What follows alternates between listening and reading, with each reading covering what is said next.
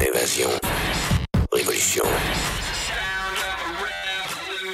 Domination. Radio Pirate. Spread the word.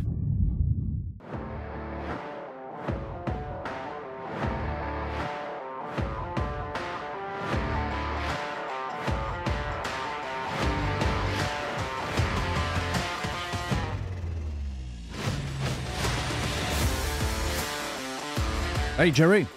Yes. Hey Mr. White. Oui. Je vous présente un nouveau euh, co-animateur dans Radio Pirate Live. Hein? Ouais, on a un nouveau. euh, on a quelqu'un en studio qui va co-animer avec nous autres aujourd'hui. Joe Hamel. Hey, bonjour. Il dit Hey, bonjour. Ah, c'est parce que là, on est en train de faire un podcast euh, On fait pendant podcast, qu'on oui. se préparait. Donc, euh, j'ai dit, c'est vraiment le temps que ça parte. Là. Faut, faut partir. Dans ça, il bon- faut partir. Bon midi, tout le monde. Euh, on est bien à Québec, hein, il fait beau? C'est froid, hein? Oui. On s'habitue vite. Je euh, vais te dire, le- c'est pas toutes les rues qui étaient déneigées là, hier quand je suis arrivé. euh, Non, non, non. Vieux-Québec. Non. J'ai gratté une certaine partie de la rue. Ben oui. Écoute, euh, on a un maire qui est, euh, un maire qui est défocusé un peu. On est, euh, on est plus dans la, la- la- la gestion de l'Antarctique, que les poubelles et euh, la glace sur les trottoirs de sa ville. Le gars est complètement euh, pas là. Hey, euh, t'es de passage à Québec? Qu'est-ce qui se passe? Yes, écoute, une couple de meetings, puis je me suis dit, je vais aller voir mes amis euh, de Radio Pirate, profiter d'être en studio. C'est toujours, c'est jamais pareil, hein, tu sais, à distance, puis euh, être, euh, être ici en studio. Euh, quand on a l'occasion, on fait notre saut, puis on participe. Là, surtout, on a nos nouveaux studios beaucoup plus cosy. Donc, on est comme. On est Ben, comme écoute, deux fois, je suis venu dans deux studios différents, donc euh, j'avais Ouais. 203. en l'espace de quelques jours. Donc, on a décidé sur un coup de tête la semaine passée, lundi passé. Je pense c'est ça. Hein? C'est lundi qu'on est déménagé? Lundi Ah oui, c'est lundi. Lundi. Lundi, entre 13h et 16h. À 16 heures, c'est pas mal fait. 18 Donc, heures, on euh, était opérationnel. Vive la, vive la, la, la, la techno. J'ai dit à Jeff, on déménage quand? Euh, samedi? Non, non. Tantôt. Là, là. Là, là, là. là. Ouais, mais là, le web, on va s'organiser, on va taper un fil bord en bord de la, de la bâtisse. C'est ça qu'on va faire. Euh, Suis-tu un peu toutes les histoires avec euh, Twitter et. euh, Est-ce que c'est le même ailleurs dans le monde, l'histoire sur Elon Musk? Ben oui, c'est un peu comme, je te dirais, la, la- le Uni Party euh, et les médias sont pas mal tous sur le même narratif que j'écoutais d'ailleurs Bloomberg un matin, il disait euh, euh, là les investisseurs sont, sont inquiets à l'effet que euh, Elon Musk est, dis- est distrait et que Tesla, ben les, les Tesla sont quand même assemblés à l'usine, oui. ça fonctionne pareil, on s'entend. Donc, ils sont tous un peu sur le même narratif que là, Twitter, c'est sur le bord de sur- près de l'implosion à Oui. cause qu'il y a. Alors que c'est un peu l'inverse. Dans le fond, on se rend compte qu'il y a des. euh, je pense qu'ils publiaient hier des statistiques C'est d'usage. 1,6 million de plus de users euh, par jour. Alors que quoi, le 80% de la compagnie a été, a été mis à pied. Donc, on se rend compte que finalement, euh, les milliers d'ingénieurs, entre guillemets, qui travaillent dans ces sociétés-là, euh, euh, ini- initialement, oui, pour développer le produit, on s'entend, mais à partir d'un certain point, euh, il y a probablement plus de baby-foot que de, de, de, de, de là, qui se prennent qu'autre chose. Ben là. oui, c'est clair. Mais ça en dit long sur. euh, tu sais, ça en dit long sur nous autres un peu. euh, pas juste les médias, le monde qui a embarqué là-dedans. Là. Euh, beaucoup de journalistes, je vais me dire, là, beaucoup de gens qui, au niveau business, ont peut-être pas créé grand-chose dans leur vie, mais tu sais, de voir un gars qui prend une business qui faisait à peu près 5 milliards, point 5 de chiffre d'affaires, qui en calait à peu près 200 millions par année, dire, un peu, il y a quelque chose dans cette culture d'entreprise-là qui ne fonctionne pas, on va, on va faire le ménage, puis on va mettre ça, on va mettre ça douette, là. Tu sais, En bon québécois, on va mettre ça douette. Mais euh, le monde ne pogne pas cette patente-là. Je veux dire, tu n'achètes pas une compagnie pour pas réussir, tu achètes une compagnie pour la rendre meilleure. Non, exact. Puis, tu sais, Twitter, c'est pas comme si c'était pas connu. Twitter, il y a énormément. la, la brand elle-même a une valeur incroyable. Il y a aussi une participation. Puis là, je pense que c'est en, en augmentation. Donc, déjà là, je pense qu'il y a déjà. Il y a déjà des, des KPI, il y a déjà des, des points de performance qui, euh, je pense, qui vont dans la bonne direction en fonction de son acquisition. Euh, puis il y a probablement bien des façons intéressantes de monétiser ça. On en jasait Oui. l'autre fois autour d'une bière, une, gang de chums. Puis tu sais, pense juste par exemple, euh, tu sais, l'histoire euh, euh, qui revient toujours de l'idée d'éditer un tweet, là, par exemple. Ben, tu sais, tu peux Oui. mettre un frais là-dessus. Genre, si tu veux Oui. éditer un tweet puis tu as un million de, de- de- de followers, ben garde. Là, moi, je peux l'éditer. J'ai 30 minutes pour l'éditer parce que moi, j'ai la bulle bleue. Ah, OK. Donc, j'ai 30 minutes pour l'éditer. Donc, euh, Ben, t'enlèves, t'enlèves ce timer-là, puis tu mets, mettons, un, frais de 20$, mettons, euh, ou quelque chose de même, là, euh, ou des, des- des frais ponctuels de même. Ou si tu veux faire des threads, mettons, plus longs que X, ben, tu mets un petit micro-paiement, tu mets... Il y aurait probablement plusieurs façons de monétiser ça sans que euh, l'utilisation elle-même devienne payante. C'est-à-dire que, tu gardes le, le- le Twitter, l'utilisation, le, le- le- le- l'aspect générique, l'aspect organique de, de Twitter, tu le gardes gratuit. Par contre, tu peux avoir des add-ons comme ça qui pourraient générer un certain revenu. Euh, je pense que je t'entendais à un moment donné dire là, la publicité. Moi, je je- je suis un peu d'accord avec toi là-dessus. Je, je trouve que c'est pas vraiment un média pour afficher de la publicité.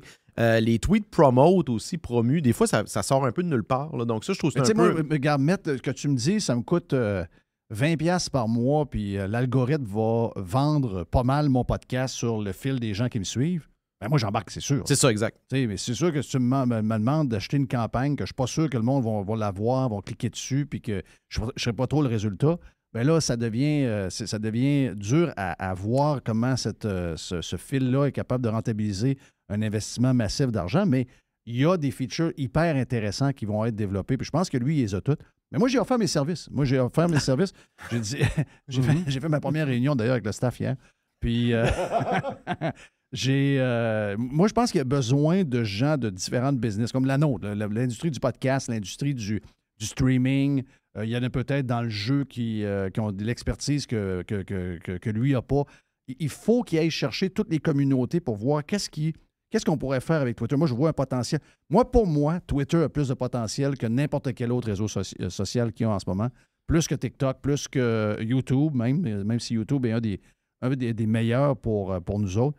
Euh, Facebook en général, Instagram, le meilleur qui peut, qui a le plus de potentiel pour moi, c'est vraiment Twitter. De voir un gars d'affaires qui arrive là, puis qui est là le soir, un vendredi à 1 h du matin, avec une gang d'une quarantaine de- jeunes crinqués ingénieurs qui travaillent le soir, qui sont, sont fait probablement venir du Uber Eats, qui ont mangé à la cafétéria de la place. Mais de voir qu'il est capable de craquer ce monde-là, puis que tous les traîneux de savate ont sacré le camp. Il y a une belle histoire qui est en train de s'écrire, mais je ne sais pas pourquoi les gens ne veulent pas voir la belle histoire. Ils veulent caler à l'avance l'échec, ils veulent faire semblant qu'ils s'en vont, etc. C'est... Il y a un côté très pathétique à cette histoire-là. là. Ben écoute, je t'écoutais ton segment hier avec euh, Prof Caron, puis je pense que c'est un peu. Ils sentent qu'ils perdent le contrôle. Tu sais, c'est des gens. euh, c'est parce que nous, je pense généralement, on est pro euh, d'expression, c'est-à-dire qu'on va défendre nos idées. Comme tu dis, les gens qui sont pas d'accord avec nous, avec nous, on veut pas les canceller, on veut pas les, on veut pas les censurer. Par contre, eux, c'est l'inverse. Parce que généralement, ils sont pas capables de, gagner sur le, terrain des idées, sur le débat lui-même. Donc, généralement, la façon de gagner, c'était justement de censurer et d'exclure des gens de la discussion. Donc là, ils sentent que ça, le tapis leur glisse sous les pieds.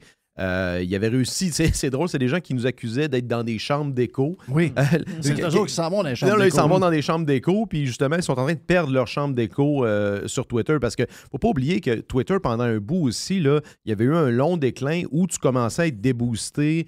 Euh, tu étais ce qu'on appelle shadow ban, c'est-à-dire que sans même être banni ou, euh, disons, euh, éjecté de la plateforme, il y a beaucoup moins de gens qui te voyaient. Il y a des gens, Oui. des fois, qui te, qui te cherchaient pas. Excuse, il- t- ton nom sortait pas, ton nom d'usager ne, ne sortait pas dans les recherches. Donc, il y avait, il y avait un paquet de d'outils qu'ils avaient développés avec les algorithmes pour, extra- pour exclure là, euh, une certaine frange là, de, de la population de- des usagers Mais Il Twitter. y avait de la censure, d'abord, de, par- de- par les sujets que tu t'amenais. Ouais. Euh, le, le- donc, le, côté idéologi- idéologique, d'après moi, on le voit. Là, et il y avait une gang là-dedans de, gauchistes euh, assez euh, ben, assumés en, en premier, puis aussi assez extrêmes. qui eux autres voulaient avoir une plateforme anti-Trump, anti-conservatrice, etc. Donc, avec leurs propres valeurs. Et ça s'est retourné contre eux autres. Ces gens-là ont, euh, ont, ont perdu la, ont perdu la guerre, pas à peu près. En plus de perdre le job, de voir un gars qui arrive, puis qui, à la base, en, en passant, là, je, je lisais Jean-Marc Léger euh, cette semaine qui disait Ah, mais il a fait un sondage sur Trump. Il y a eu quoi? Je ne sais pas combien de millions de. 15 de- millions. je pense. 15 millions de. Puis ça a donné que Trump a gagné. Puis il dit Ouais, mais c'est normal parce qu'il dit dans ses followers, vu que lui, c'est un capitaliste de droite et que c'est un républicain, ben il y a des pro-Trump en général qui le suivent. Mais un peu, là. Moi, ce que je comprends de Elon Musk avec le temps, un, ça n'a jamais été un pro-Trump. Euh, Je pense pas qu'il ait voté pour Trump. Euh, c'est à la base quelqu'un qui a toujours appuyé plus les démocrates que les républicains. Oui, c'est un capitaliste, comme euh, tous ceux qui. euh, Il n'y a, pas c'est un- défaut d'être capitaliste, en tout cas, je pense pas. Mais on- donc, on déforme à peu près en disant. Parce que le but ultime de la gauche, c'est de censurer Trump. Euh, puis même, on voit, les, tu voyais tantôt, entre autres dans le Journal de Montréal, le Journal de Québec, il y avait le tweet de Trump où on voit une fille avec un logo de Twitter dans le derrière, puis on voit quelqu'un derrière, un homme qui s'apprête à s'en aller par, par en arrière d'elle. Et là, c'est marqué Trump. Puis là, donc en voulant dire que Twitter est prêt à se faire. est prêt à n'importe quoi. Ouais. Et donc là, il a pris cette photo-là, puis il dit Musk est prêt à n'importe quoi pour attirer Trump. Ben Oui, mais. C'est parce que ça, en même temps, c'est les, les médias, euh, le legacy media, puis euh, cette frange de, de, de losers-là qui comprennent pas les. Comprennent pas la culture Internet, là, ils comprennent pas les memes. Elon Musk, tu, tu vois qu'il Ben, est un, le deuxième degré est plus possible. là. Exact, exact. Fait que, tu sais, je- moi, je m'étais fait un peu prendre à ce jeu-là aussi, dans le sens que, tu sais, des fois, on discute, on pose des trucs dans un contexte Internet, puis là, je vois souvent, c'est pris hors contexte. Ah, il a dit telle chose. Mais, tu sais, c'est parce que c'est quand tu. le- Tu sais, le, le- fait que tu viens d'expliquer le mime, c'est très difficile à comprendre pour quelqu'un qui ne comprend pas à la base comment ça fonctionne. C'est une Ouais. image. Le but, c'est de, c'est de faire référence à quelque chose. Puis euh, effectivement, c'est deux, des fois, c'est troisième degré. là, les mimes, ça peut être assez, assez plus. D'ailleurs, c'est un, format de, de, de, de- de- pas dire propagande, mais c'est un, c'est un- c'est un médium politique extrêmement puissant. Puis c'est pour ça que la gauche panique, parce que la gauche n'est pas capable, la, the left can't meme, là. la gauche n'est pas capable de créer des mimes, n'est pas capable de, de, de justement générer des discussions organiques sur, sur le web, sur ces plateformes-là, euh, d'avoir un discours dissident cohérent. Donc, ce sont- ils sont vraiment, je pense, le, la ligne directrice des, quoi, des cinq dernières années, c'est que l'establishment, c'est devenu ces gens-là. C'est devenu la gauche éco, euh, éco-anxieuse. C'est devenu les journalistes anciennement là, qui se croyaient edgy, un peu comme les pattes lagacées de ce monde, euh, sont devenus l'establishment, sont avec, collés avec le pouvoir. Les médias, on l'a vu, ça a été des, euh, les plus grands défenseurs des big pharma. Ça, c'est incroyable, spin incroyable. Là, c'est rendu quasiment des néoconservateurs qui veulent envoyer des tanks puis des avions de chasse en Ukraine. Oui. Euh, c'est quand même incroyable en l'espace de. C'est des gens, il y a quoi, il y a 20 ans, qui manifestaient au sommet des Amériques là, pour, contre la mondialisation. Oui, c'est ça qui est bizarre. C'est ça qui est bizarre, mais on voit qu'ils sont complètement euh, poignés avec leur propre jeu. Tu sais, j'ai vu hier, euh, en cours du week-end, CBS News, donc euh, la, la grosse, grosse chaîne de TV, CBS, qui dit Bon, ben là, on va prendre une pause de Twitter parce qu'on ne sait pas trop où ça s'en va. Donc, excusez-nous. Tu sais, je regardais le nombre de tweets que CBS News envoyait, c'était des tweets, c'est quasiment 10 par heure. Donc, du jour au lendemain, il y a un blackout sur. Le, le- le- le compte est encore là. Mais, puis on l'a vu aussi au Québec. On a vu beaucoup de journalistes au Québec, des, gens plus ou moins connus, des gens du Devoir, euh, Chantal Hébert euh, à Toronto. euh, beaucoup de gens sont dit bon, ben là, on va prendre un genre de break. Finalement, hier, ou- dimanche soir, CBS News annonce que ouais, on va recommencer à tweeter. Là, on n'a pas trop de nouvelles, comment ça va, mais on voulait dire. Parce que là, si on n'est pas là, on est en train de perdre un- une plateforme vraiment intéressante pour nous autres, donc il faut retourner absolument. Les autres journalistes que je te parle sont revenus aussi, un peu en hypocrite, sans jamais dire Ah, ben finalement, j'ai décidé de revenir parce que je suis allé sur Mastodon il n'y a rien qui marche. Donc, ils sont comme revenus euh, euh, de manière un peu hypocrite. Mm. Le monde a des mémoires. Donc, là, il y a quelqu'un du devoir, entre autres, qui est revenu avec un texte comme si rien n'était. Et là, lui, il a peut-être eu genre 75, 100 commentaires de gens qui disaient Hey, toi, Chris, t'es T'es pas parti, toi? t'es pas parti, t'as pas crissé ton Ah camp. oui. Donc, tout le monde se fait ramasser. Donc là, eux autres sont même pas capables d'aller jusqu'au bout de, de ce qu'ils veulent. Tu sais, au moins, s'ils étaient crédibles, ils diraient ben, moi, je veux plus rien savoir, je m'en vais, je ferme mon compte, merci, goodbye. Ça dure pas 24 heures, ils reviennent en rampant, ils font semblant qu'ils n'ont rien fait. En plus, c'est même pas du monde solide. Ils sont Non, même pas solides au euh, niveau de leur conviction. Sinon, mentalement, généralement, ils sont pas très équilibrés aussi. là. on le voit, là, tu vois, le- tu vois, comme je t'écoutais hier, tu disais, on a vu la vraie, euh, le vrai visage de ces gens-là. tu sais, C'est c'est quand même incroyable. Puis je pense que c'est ça qu'ils acceptent pas. Ils acceptent pas de se faire caler par des nobody, entre guillemets, euh, en, dessous de leur, euh, en dessous de leur tweet. Puis souvent, on arrive avec plus de. Souvent, le- le- ils se font ratio, c'est-à-dire qu'ils ont plus de réponses que de likes ou Oui. de partages, de, Oui. de retweets. Puis généralement, ben, c'est là. en fait, c'est ça qu'ils sont pas capables de, de- contrôler. c'est vraiment une chambre d'écho. Euh, ils sont aussi une petite gang. Tu sais, la, la- la clique justement de la gauche haineuse sur Twitter, c'est après toute la même gang qui s'auto-follow. Puis t'as une genre de, de, de petite clique du, du Twitter Québec franco. Là. Euh, mais c'est généralement, c'est pas, c'est pas représentatif de, de la population là, euh, et des intérêts généraux euh, du peuple, ça. Là, là.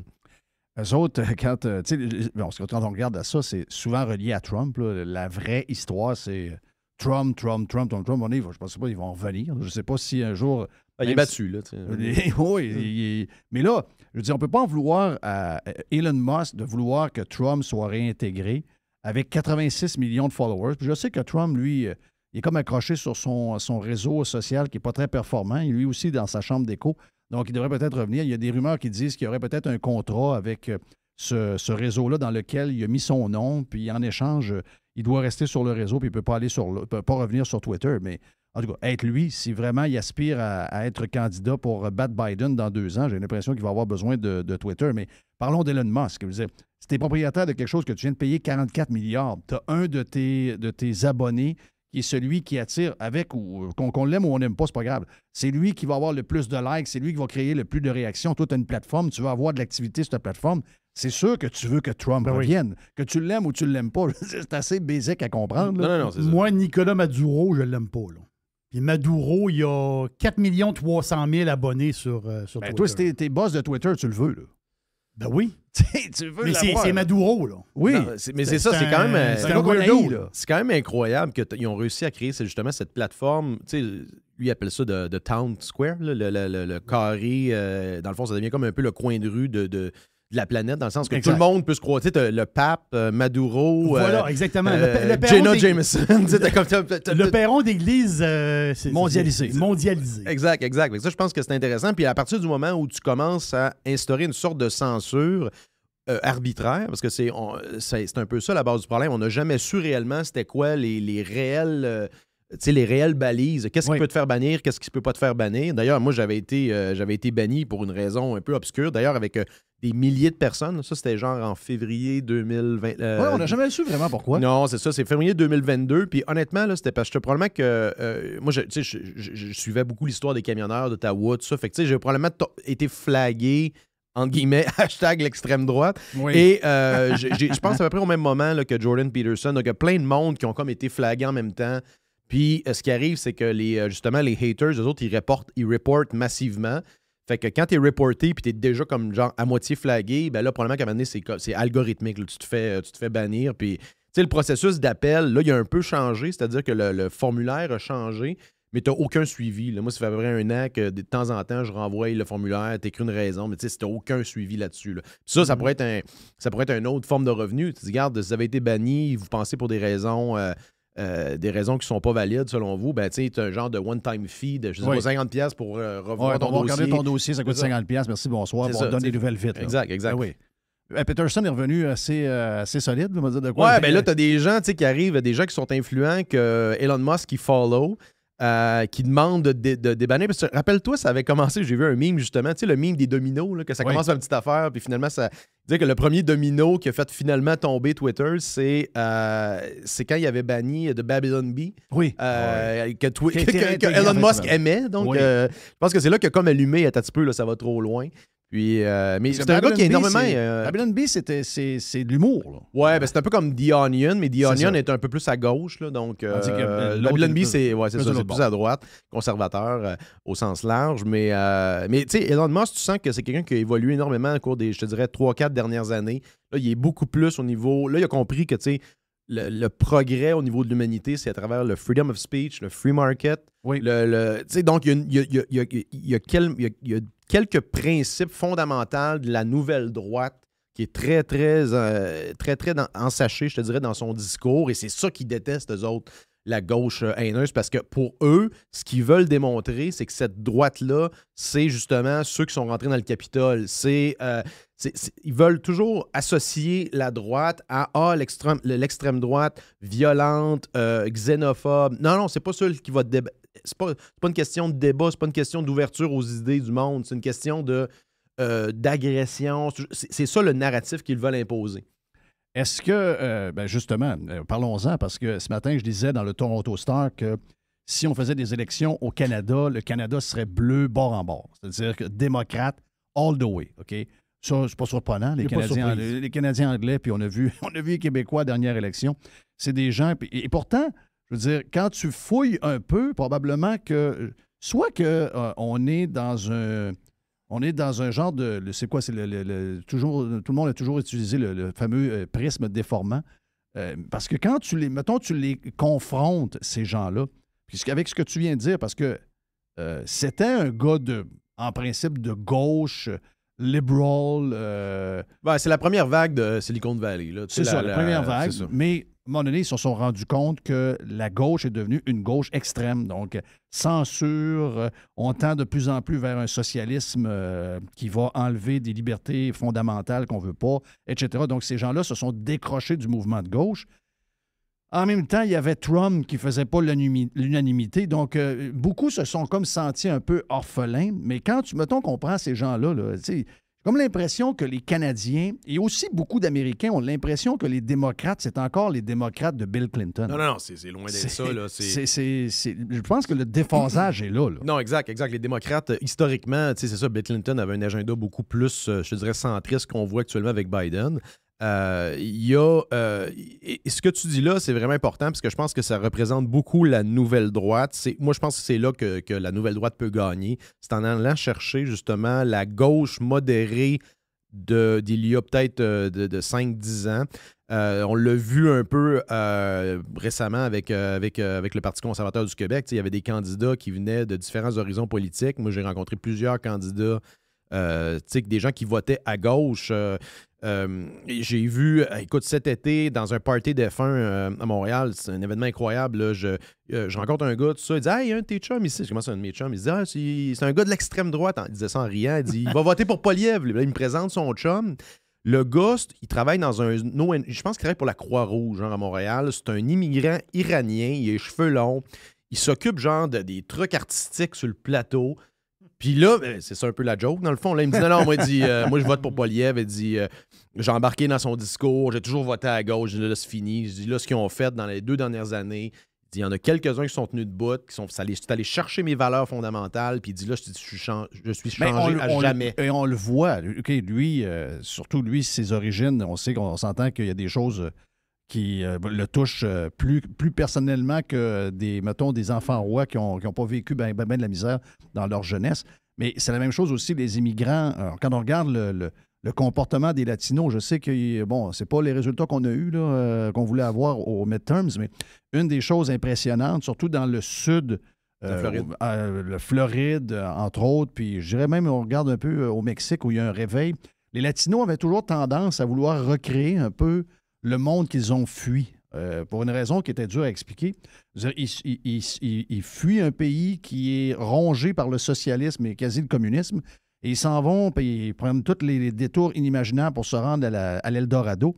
Et une fois qu'ils arrivent là, ce qui était bizarre, c'est qu'ils votaient pour le même régime ou à peu près que finalement ils avaient fui.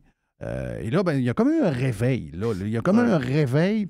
Et je pense que c'est beaucoup toutes les histoires du wokisme avec, euh, ben, avec euh, l'extrême, euh, les, valeurs fondamentales de la famille, c'est plus important. Euh, n'importe qui peut être avec n'importe quoi. Je veux dire, c'est rendu un peu sauté. Et ça, ben, ça, ça les a touchés vraiment. Là. Et là, il y a eu un switch vraiment fondamental des Latinos. Là. Les Cubains étaient déjà là, mais tous les autres, ils Les étaient Cubains pas là. étaient déjà là, je pense que c'est 58 ou 60 Oui, mais pas les autres. Non, exactement. Ouais. Ben, on l'a vu, on l'a vu dans les élections euh, américaines. Oui, tu as des comtés euh, qui étaient bleus qui sont tournés, c'est comme Miami-Dade, je pense, Oui. qui est rendu républicain. Il y avait un comté, je pense aussi en 2000, euh, c'est 2020 au Texas, je pense qu'il avait tourné aussi qui était, euh, qui Ah, c'est dans le coin de Houston. Exactement, qui était historiquement très démocrate. Mais en général, ce que tu dis là, puis ça, je pense que c'est un des, des- un des grands mensonges de, de la droite caribou xénophobe. C'est l'idée que justement, euh, on, est a- on est assiégé d'immigrants qui veulent juste venir profiter de nos, nos entre guillemets, le pa- hashtag le panier de service. C'est spécial. Ils viennent, pr- ils viennent profiter d'un des pires. euh, des, d'un des pires services publics au monde, c'est quand même spécial. Euh, mais non, les gens viennent. Premièrement, les gens, ils, ils font souvent la comparaison avec l'Europe. Tu sais, ah, des millions de personnes qui vont arriver. Non, premièrement, il faut que tu viennes en avion. Faut, ça te prend quand même. Tu peux pas comme t'en venir à pied là, en Amérique du Nord. là. ça prend quand même une certaine organisation. Euh, c'est un pays nordique aussi. Je veux dire, c'est quand même. Oh, quand même- ça prend quand même de la volonté et un certain plan de vie d'en venir ici. Et c'est surtout motivé par le désir d'améliorer ta, ta- ta qualité de vie et ta situation économique. Donc, généralement, des gens qui sont plus travaillants, qui sont prêts à faire des sacrifices, qui vont aussi, comme tu le disais, peu importe qu'ils soient d'origine, euh, par exemple, juive, arabe, musulman, peu importe, euh, ce sont des gens généralement qui sont très pro-famille. Donc, les tenants traditionnels de la pensée conservatrice vont les toucher plus directement. Surtout justement avec le, le- le- le pivot qu'on a vu à gauche, avec la gauche woke. Euh, le, le- le- tu sais, un exemple euh, concret de. tu sais, le- le- le- c'est un peu niaiseux, mais l'histoire de la drag queen en fait des. en fait, en fait clochette. Pas fait Comment ça s'appelle? Ça en fait les étoiles. En fait les étoiles. Ouais, ouais. Mais tu sais, c'est- c'est un exemple. euh, Et, et moi, regarde, là, je- on- ça, ça, ça, c'en est un exemple. Moi, en tout cas, je, je pense que tu es le même aussi, on est tous de même dans notre gang. C'est que nous, on veut que cette personne-là fasse ce qu'elle veut. Sa liberté à elle, c'est un gars qui veut s'habiller en fille puis qui a du plaisir à le faire. Parfait. On n'a pas de problème avec ça. Faites ça à la maison. Si vous voulez faire ça dans un bar avec des amis, vous amusez, puis le gars du bar vous engage, regarde, par- parfait. Tout le monde est, heureux. C'est c'est ça qu'on veut. Sauf que euh, ça peut pas devenir la fée des étoiles. Non, puis ça. ça n'a euh, rien à voir. On veut pas bannir les, les- on veut pas bannir, on veut pas les, les- les censurer, les empêcher de faire ce qu'ils veulent, mais ça n'a aucun lien entre un gars qui se, qui se maquille en fille et qui devient la fée des. Il n'y a pas de lien. Non, puis ça, c'est. D'ailleurs, j'ai écouté un, super, un podcast super intéressant là-dessus récemment, puis il disait que même la communauté originale euh, drag, parce que ça a toujours été, ça a toujours existé, là, ça, ça a toujours été, ben euh, oui. c'était très gros. Quand on était jeune, la cage aux le- leur but, ça n'a jamais été de prendre d'assaut la planète. là. Ça, a toujours, ça a toujours été quelque chose de- d'un peu niche. Euh, puis ça voulait rester comme ça dans un certain sens. Mais comment la gauche radicale a récupéré ça? C'est l'idée justement d'exposer les jeunes à des, euh, cultures comme ça, euh, des, cultures fringe, pour euh, leur, leur, leur- leur base, eux autres, leur narratif, c'est l'idée que si tu as des jeunes, par exemple, qui sont peut-être, par exemple, homosexuels, qui ne le savent pas, puis qui sont comme tiraillés à cette idée-là, le fait de les exposer à des, des choses comme ça va peut-être les, les, euh, les aider. réconforter. Ouais, ça. Ouais. Puis le problème, c'est qu'il disait, il expliquait bien dans le podcast, je, retourne, je retrouve c'est quoi, il disait qu'en exposant un paquet de, de jeunes at large à ces cultures-là, souvent que, tu sais, ça prend quand même une, euh, je te dirais, un- une tête adulte pour comprendre réellement Ouais. pourquoi ils font ça ou c'est quoi les motivations derrière ça. Euh, tu vas peut-être plus en fucker que d'autres choses. En fait, il disait, le- l'exemple qu'il donnait, il dit par exemple, c'est, ce serait comme par exemple de faire du, euh, de la chimiothérapie préventive sur tous les hommes de 40 ans et plus C'est ça. pour prévenir genre le cancer de la prostate. Donc, sais, pour c'est comme plein sauver- d'enfants qui, eux autres, n'ont pas de questionnement sur leur identité, identité sexuelle, mais là, on leur présente tellement des affaires de même là, ils viennent à se demander si euh, ils ont pas aussi, sont pas comme, sais, sont pas anormales de pas avoir de problème. Donc, ils se créent, ils se créent quasiment un peu d'anxiété, d'identité sexuelle. Parce Exact. On joue beaucoup, on va en parler tantôt, on joue, on joue beaucoup avec l'anxiété chez les jeunes. Ça, je trouve ça dégueulasse, sérieux. On dirait que les jeunes ont plus de. Moi, en tout cas, ce que je me rappelle de ma jeunesse, on a eu du bon temps sacrement, puis c'était le fun, puis il n'y avait pas de cassage de tête. Nos parents avaient peut-être des problèmes financiers, puis ils essayaient même pas de nous le montrer parce qu'ils voulaient pas que ça, C'est ça. ça mine le, le- le- le moral des jeunes. Aujourd'hui, on fait tout le contraire. Mais tu- juste une seconde. Tu parlais de la famille tantôt, justement. C'est pas le rôle de la famille, ça, justement. C'est un peu ça, les, les gens plus de droite, dans le sens que si tu veux imposer, justement, des, des, des, des barbadas, je vais prendre, je vais, je vais prendre euh, elle comme exemple, euh, à, des, à des enfants, est-ce que cette imposition-là, tout le temps, l'imposition, c'est pour vouloir. Mais en réalité, est-ce que, les, est-ce que les parents, est-ce que les familles ont un mot à dire là-dedans? S'ils n'ont pas un mot à dire, il est là le problème, je pense, Ben, il y a- en, arrière de tout ça. Il y, a un autre, il y a un autre aspect là-dessus, puis je fais un lien avec ce que tu disais hier. je t'écoutais que- route. mais ce que je veux dire, c'est qu'il y a des sujets, il y a des sujets de, de sociétal qui se règlent ou ce qui parlent en famille. Oui. À un moment donné, tu ne peux pas toujours imposer des. Quand tu vas à l'école, là, tu vas là pas mal pour les maths et le français. Puis, Oui, mais c'est euh, plus ça, là. Mais là, Non, non, non, c'est là, ça. tu vas imposer justement des sujets. Et là, euh, il y a des affaires qui se parlent. euh, Non, non, c'est ça. c'est En que, famille, euh, pas, en fait, ça va, je pense que ça va directement avec aussi l'idée que l'État devrait tout gérer. Là. Voilà, que- et là, l'histoire. Parce que c'est c'est là la différence entre. euh, la, la différence est très claire, par exemple, à Montréal, entre les quartiers purement francophones, traditionnellement montréalais, et les quartiers plus anglophones, je dirais plus anglo-saxons. Juste au niveau, par exemple, des institutions civiles. Par exemple, le- la commission scolaire, euh, ils ont des congrégations Ils religieuses, ils ont des. Écoute, les centres, de- les centres communautaires, et, et ils s'assurent que c'est. euh, écoute, moi, je joue au hockey à Dollar des Ormeaux, là, tu devrais voir le centre communautaire, c'est incroyable. Il y a une bibliothèque, deux glaces, les parents sont. Il y a plein Les fondations des hôpitaux sont Exact, mieux. exact. Ils mettent de l'argent là-dedans. Donc, Oui, euh, oui, hier, tu parlais Small is Beautiful, mais tu as une idée de décentralisation vers le plus proche du citoyen po- possible et les citoyens concernés s'assurent que euh, justement ces services-là sont rendus avec justement des comités Exact. de parents, des comités de citoyens. Il y a de des- l'implication du monde. Il y a des, Exact. il y a des- il y a de l'implication. Parce que nous autres, on est, on est de moins en moins portés à faire. Ce que les francophones font de moins en moins. C'est pour ça aussi que les anglophones, ultimement, on, est contre les commissions scolaires parce qu'il y a beaucoup de fonctionnariat, mais quand on regarde les commissions scolaires anglophones, ça marche beaucoup mieux que les, commissions scolaires francophones. Même chose pour les hôpitaux. Les hôpitaux du Québec anglophones fonctionnent pas mal mieux que ceux que, les francophones. C'est, regarde, c'est drôle, j'avais une conversation avec un, ami là-dessus récemment euh, qui me disait, tu sais, on a un instrument au Québec qu'on n'utilise pas assez, qui est d'ailleurs, qui existe aux États-Unis, c'est les counties. Tout fonctionne par county. Oui. Tu sais, t'as les, euh, euh, je pense au niveau de l'éducation. Donc, Oui. évidemment, l'État gère tout. là. le fédéral gère à peu près rien, euh, à part les postes puis l'armée. Mais tu sais, la, divi- la subdivision ultime de l'administration locale, Oui, c'est les c'est les counties. Puis ici, on en a. Les MRC, là, ça sert à quoi, ces affaires-là? Ça sert absolument à rien. là. C'est juste une généra- c'est généralement une délimitation géographique avec un genre de regroupement des villes. Mais tu pourrais avoir une certaine gouvernance locale, beaucoup plus décentralisée. Mais sinon, on a, on a tellement centralisé à la tête de la province avec un espèce de mur à mur qui revient en passant avec la CAQ. On avait connu ça avec le PQ à l'époque.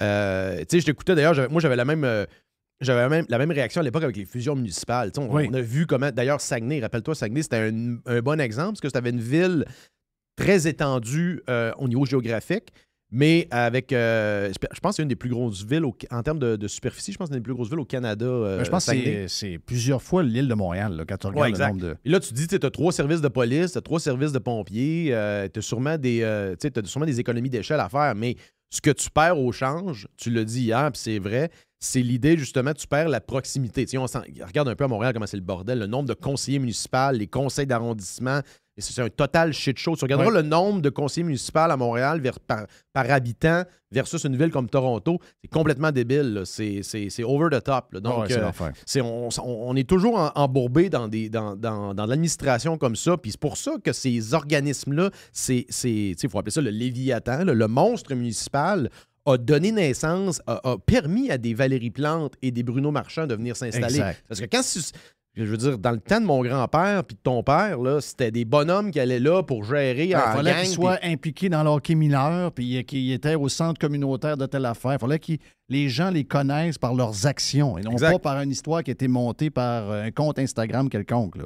En fait, on devrait se battre, tu sais, on devrait se battre pour pas être maire et non pas se battre pour être maire. Ça devrait être comme un genre de. Oui, de- oui. C'est une- C'est un vrai job. C'est un genre de billet que tu donnes, là, puis tu y vas, puis that's it. là. Hey, après, euh, on va. euh, ce qu'on va faire, c'est qu'on va jaser de- du Qatar et euh, du. Ah, le soccer va venir là-dedans, là, mais je veux, parce que tu es allé au Qatar, puis tout le débat alentour de ce qui se passe là-bas, là, le genre de journaliste qui a été arrêté pendant 30-40 minutes avec son chandail avec l'arc-en-ciel dessus. Il y a bien des affaires à jaser. Euh, J'espère qu'à un moment donné, ça va finir par juste jaser de soccer, mais j'en doute.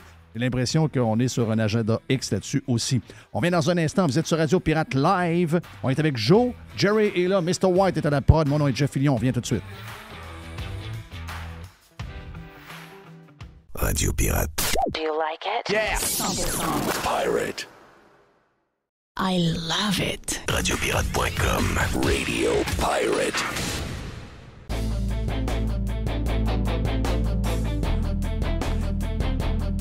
Vous êtes sur Radio Pirate Live. Euh, On est avec Joe Hamel en studio aujourd'hui. On va s'amuser un peu dans les euh, prochains blocs euh, avec lui. Euh, on a parlé de pas mal de choses dans l'ouverture. On, s'est- on, on a eu du plaisir à jaser de plusieurs sujets. Mais là, je veux qu'on revienne sur quelque chose qu'on a jasé aussi tantôt, en dehors des, euh, en dehors des ondes, juste avant de, de commencer. On a parlé du Qatar. Puis, euh, bon, moi, je ne suis pas un spécialiste de soccer, là, mais euh, je, veux- m'y intéresser. J'essaie de, m'y intéresser. Euh, c'est pas facile pour moi. C'est culturellement, j'ai, peut-être pendant mon éducation de hockey du temps, peut-être que j'ai de la misère avec, avec le sport en tant que tel, mais je suis pas fermé à vouloir suivre un peu plus les exploits sportifs de ce qui se passe. Mais là, on semble accroché sur le fait qu'on est au Qatar. Euh, mon feeling, c'est qu'à un moment donné, il va falloir en revenir, puis il faut, euh, faut, faut assumer la décision que la FIFA a prise il y a euh, de ça. nombreuses années, puis que finalement, on est là, puis envers et contre tous, il faut, faut y aller. Parce qu'il y a un documentaire, excuse-moi, mais sur Netflix qui parle justement d'espèce de processus, de la, ben, la naissance de la FIFA et le processus que le Qatar s'est ramassé avec ce tournoi-là. Puis là, on parle de corruption, tout ça. Mais qu'est-ce que tu veux? C'est-à-dire, c'est. C'est un problème du soccer et du foot en tant que tel. C'est des, c'est des les Olympiques bombes. ont la même chose. Ah, les Olympiques ont le même euh, c'est- problème. même. Mais là, faut, là, ils sont là au Qatar. Ben, à un moment donné, il faut. et on, on est au Qatar. à un moment donné, il faut prendre ce qui est là. là. Puis, euh, j'en parlais ce, ce matin sur euh, Radio Pirate Prime. Je ne sais pas si tu es d'accord avec ça, Joe, mais euh, écoute, c'est- arriéré pour, pour nous autres à certains, à bien des niveaux, là, je veux dire, mais, mais eux autres, je, regardais euh, des tweets, puis des fois, je vois les traduire. Euh, on a la, possibilité de traduire ce qui est écrit par les gens qui vivent au Qatar ou encore euh, soit Abu Dhabi ou Dubaï ou même, même certains coins de, de- tous ces, pays-là qu'on juge de loin, puis qu'on connaît mal, il faut se le dire, on connaît mal parce qu'on n'a pas la même culture, on ne vient pas de la même place, on n'a pas les mêmes valeurs, c'est clair.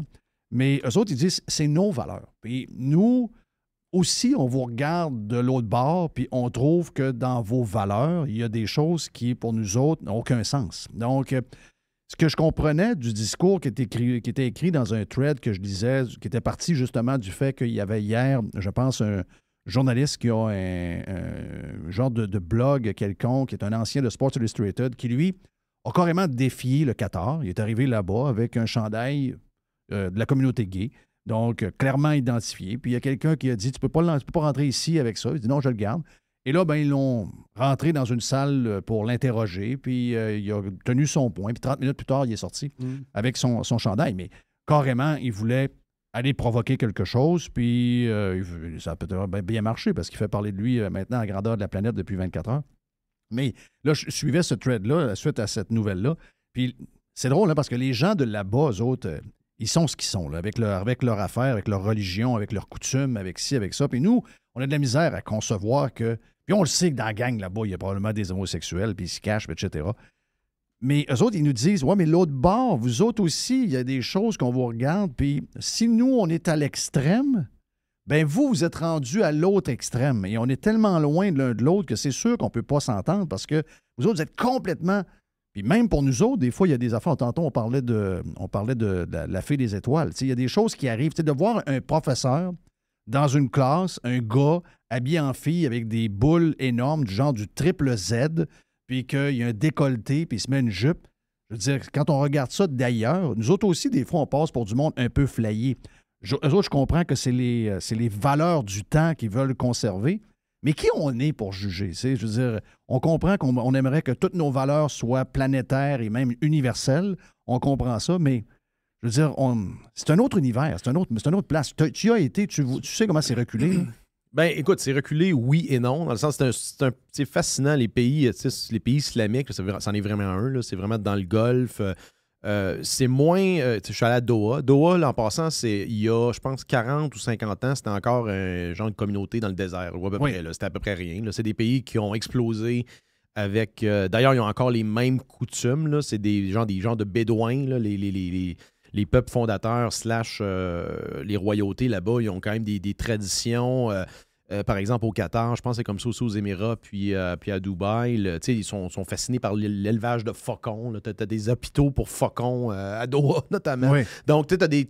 Moi, je trouve ça quand même assez fascinant, cet aspect-là. là. C'est quand même des gens qui vivaient dans le désert, qui ont, qui ont créé quelque chose en justement en exploitant les ressources naturelles. Il y a toute une histoire aussi coloniale derrière ça. Tu avais une influence britannique pendant un bon moment. Maintenant, whoop, ils, ont, ils ont repris le contrôle, etc. Mais la, la- chose à comprendre de ces pays-là, tu sais, Jerry, tu as voyagé pas mal. Moi, j'ai voyagé pas mal aussi. Je suis pas mal allé partout. Je suis pas allé, je suis pas allé en Amérique du Sud, mais tu sais, je suis allé en Asie, je suis allé en Europe, je suis allé en Afrique, tant de l'Ouest que de l'Est. Fait que tu sais, j'ai pas mal vu les, cultures du monde. Puis, euh, je te dirais que dans ces pays-là, tu te sens pas le bienvenu. Tu sais, je veux dire, oui, tu as tout pour avoir du fun. Dubaï, c'est probablement différent parce que c'est un genre de Walt Disney, là, euh, Ouais. au moyen, euh, au- justement dans, dans la région du Golfe. Mais tu sais, Qatar, euh, comme Doha, euh, celle-là en Arabie Saoudite, comment ça s'appelle la ville euh, Les Bahreïn? euh, Non, l'Arabie Saoudite. OK, là. oui, c'est Oui. Riyad. Riyad, exact. Ça, c'est des villes vraiment plus, euh, plus beaucoup plus fondamentalistes que, par exemple, Dubaï. Et euh, ce que je comptais justement à Ordon avant d'arriver, c'est que tu n'as aucune vie, comment je te dirais, culturelle. Tu sais, t'as pas de. Il n'y a personne qui marche. Premièrement, il fait extrêmement chaud l'été. là. C'est Oui. invivable. là. Euh, moi, je m'en rappelle, j'étais euh, c'était en novembre ou octobre 2015. Tu sais, euh, l'humidité est insupportable. Le matin, c'est quasiment 28 avec l'humidité, c'est incroyable. là. Donc, euh, déjà, tu as, un climat qui est étouffant. Fait que ça étouffe, ça, ça, ça étouffe, si tu veux, l'activité humaine externe. Mais en même temps, tu n'as pas cette ouverture-là. Tu n'as pas de. T'as pas de t'as pas de petit café, par exemple. T'as pas de... Donc, les gens sont vraiment, passent, mettons, d'un building à l'autre, euh, plus souvent qu'autrement en voiture. ou en... Tu sais, t'as pas de vie ur- pas de vie culturelle et urbaine Ouais. comme dans... Mm. Alors que c'est total, totalement le contraire. Euh, moi, je suis allé dans les coins très pauvres d'Afrique où tu te sentais... Écoute, les gens avaient rien, puis ils voulaient t'inviter à, à joindre à eux. là, prendre... Tu sais, t'as- pas ce sentiment d'accueil-là que t'as ailleurs dans le monde, dans les autres cultures. C'est drôle parce que sur mon vol, quand j'étais allé, j'avais- j'étais assis avec un gars qui, lui, avait travaillé pour la famille royale. Il avait fait pas mal de temps là-bas. Puis il dit, tu sais, tu vois, c'est des gens qui, quand ils vont te parler, tout ça, ils ont l'air très accueillants, tout ça, puis ils vont, ils vont tout faire pour que tu te sentes le bienvenu. Mais tu sais, au final, euh, ils veulent quand même te couper la tête. là. Oui.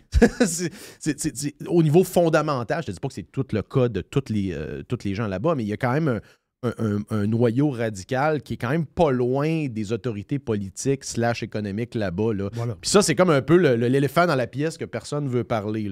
C'est que la charia est appliquée quasiment à la lettre. Donc, c'est des. C'est justement. C'est euh, des lois islamiques, autrement dit, des doctrines qui sont prises by the book. hein. Il y a des places, c'est- eux autres sont vraiment plus sévères euh, là-dessus. Il y a d'autres endroits peut-être qui sont moins sévères. Je vais prendre un exemple. C'est sûr que c'est c'est pas comparable, mais quand même, c'est des, c'est des musulmans. Euh, tu vas au Maroc. Ouais, ben, Maroc. mais tu veux dire, la vie au Maroc, c'est une vie euh, très, très. Très européen. Là, Très européen. Rabat, moi je suis allé à Euh, exactement Ouais. ça. Les, les- les- comme tu parlais de cafés, petits restaurants, les souks, le- beaucoup le monde se il y a- il y a une mixité de personnes, même si, oui, euh, il y a- Ben, juste y la a- il question, y a une royauté euh, pareil, ouais. c'est un roi à quelque part, mais c'est pas la même genre de vie là, que dans le golf. Non, non, non, exact, exact. C'est, euh, c'est beaucoup plus libre. Toute la question de l'homosexualité, je pense qu'elle est, entre guillemets, interdite, mais tout le monde le sait, donc c'est un peu, entre guillemets, accepté. Là. Donc, alors que là-bas, c'est, euh, tu peux pratiquement pas t'afficher. là. là. Non, non, c'est ça, exact. Moi, je me rappelle, il y avait, euh, on avait connu une fille là-bas qui était quand même, euh, pas dire de l'establishment, mais quand même bien placée là-bas, une famille bien en vue. Et euh, moi, j'étais avec une fille là-bas, puis la, la- la dame nous racontait que, ben, tu sais, elle pouvait, elle avait juste commencé à conduire, euh, euh, une fille dans la trentaine, là, puis elle disait, ben, tu sais, là, voyait mon ami qui avait comme les cheveux Mm. lousses. Elle disait, Hey, moi, pour moi, je peux pas faire ça. Puis là, elle nous avait avoué que son père la battait. Tu sais, puis c'est pas, c'était pas une famille pauvre, genre du marché. là. C'était genre Non. une famille quand même bien établie. Puis c'était, on comprenait qu'elle disait que c'était par tradition. là. Tu sais, il y avait un aspect euh, traditionnel là-dedans. Regarde, moi, je passe à travers de ça. Puis euh, that's it, là, tu sais. Fait que là, tu, rends- tu, tu réalises. et- et c'est très paradoxal avec ce que tu vois. Il y a des grands buildings, souvent la moitié sont à moitié vides. Là, tu sais, c'est pas toujours euh, pas toujours représentatif de ce que tu vois. Euh, Il y a comme, euh, écoute, c'est débile, il y a un gros centre d'achat à Doha, il y a un Tim Horton là-dedans, il y y a une patinoire, c'est- sur une autre planète Ouais. réellement, là. mais en même temps, t'as pas, euh, t'as pas l'impression d'être, par exemple, al- alors que c'est totalement l'inverse dans un pays, par exemple, comme le Japon, t'es totalement dépaysé, euh, mais tu sens qu'il y a une culture locale, il y a une richesse, il y a une, vie urbaine, il y a, quelque chose qui se passe. Là-bas, tu c'est très, très. euh, t'as les- t'as le, le pouvoir. Ben, D'ailleurs, le Qatar, je pense, c'est comment tu disais de monde euh, tantôt euh, C'est 3 millions de 3 personnes. millions. Il y a- je pense qu'il y a quelque chose comme 200-300 000, euh, ou un petit peu plus, peut-être 200-400 000 locaux réels, là, des Le vrais Qataris. là. Le reste, c'est tous Des des, expats. expats, là, qui Des travaillent là-bas, qui se font souvent, plus souvent qu'autrement, enlever leur passeport quand ils arrivent là, des Philippins, des, euh, des Indiens. Donc, tous les gens qui travaillent dans l'industrie du service, d'ailleurs, je ne sais pas comment il y a eu de milliers de morts pour la construction de ce stade-là. Ça, ça, ça a fait énormément. Ben, les stades, là, dans le fond, là, c'est. euh, c'est Mais, comment on peut croire qu'on va arriver là parce qu'on donne. Tu sais, le problème, c'est la, la vraie histoire, c'est que la FIFA, je sais pas trop pourquoi ils ont donné ça, euh, tu sais, avec tout, ce- tout ce qu'on sait, tout ce que tu viens de raconter, puis de ne pas penser que ça allait pas devenir être au cœur, en tout cas, pendant un maudit bon bout, ça allait être au cœur des discussions, puis ça allait faire euh, quasiment euh, rendre l'événement sportif secondaire avec toutes les histoires, parce que là, on, on mélange en plus l'Iran à travers, l'Iran qui joue dans le tournoi, donc là, il y a des Iraniens qui sont, euh, euh, qui sont plus en Iran. Il y en a, il y en a des Can- du Canada qui étaient là, sont allés encourager, ben, en fait, pas encourager l'équipe, sont allés manifester parce qu'il se passe des affaires en Iran. Donc, euh, tu sais, je- je- le bout que je comprends pas, c'est euh, comment on pense, avec tout ce qu'on a eu comme échec en Afghanistan ou un peu partout où on est allé, penser que nos idées, puis je dis pas que nos idées sont pas, sont pas nobles, sont pas bonnes, c'est, on veut, on veut, nous autres, on veut le plus, en tout cas, nous, on veut le plus de liberté, puis on veut que les gens fassent ce qu'ils veulent, puis etc., etc. C'est drôle de voir ceux qui défendent euh, ces valeurs-là en ce moment pour euh, des pays comme, euh, comme, comme justement le Qatar, parce que quand ça se passe chez nous, bien souvent, c'est fendre ta gueule, puis si tu penses pas comme moi, on va te bannir, on va te Au canceller. Québec, site, là. Oui, c'est ça.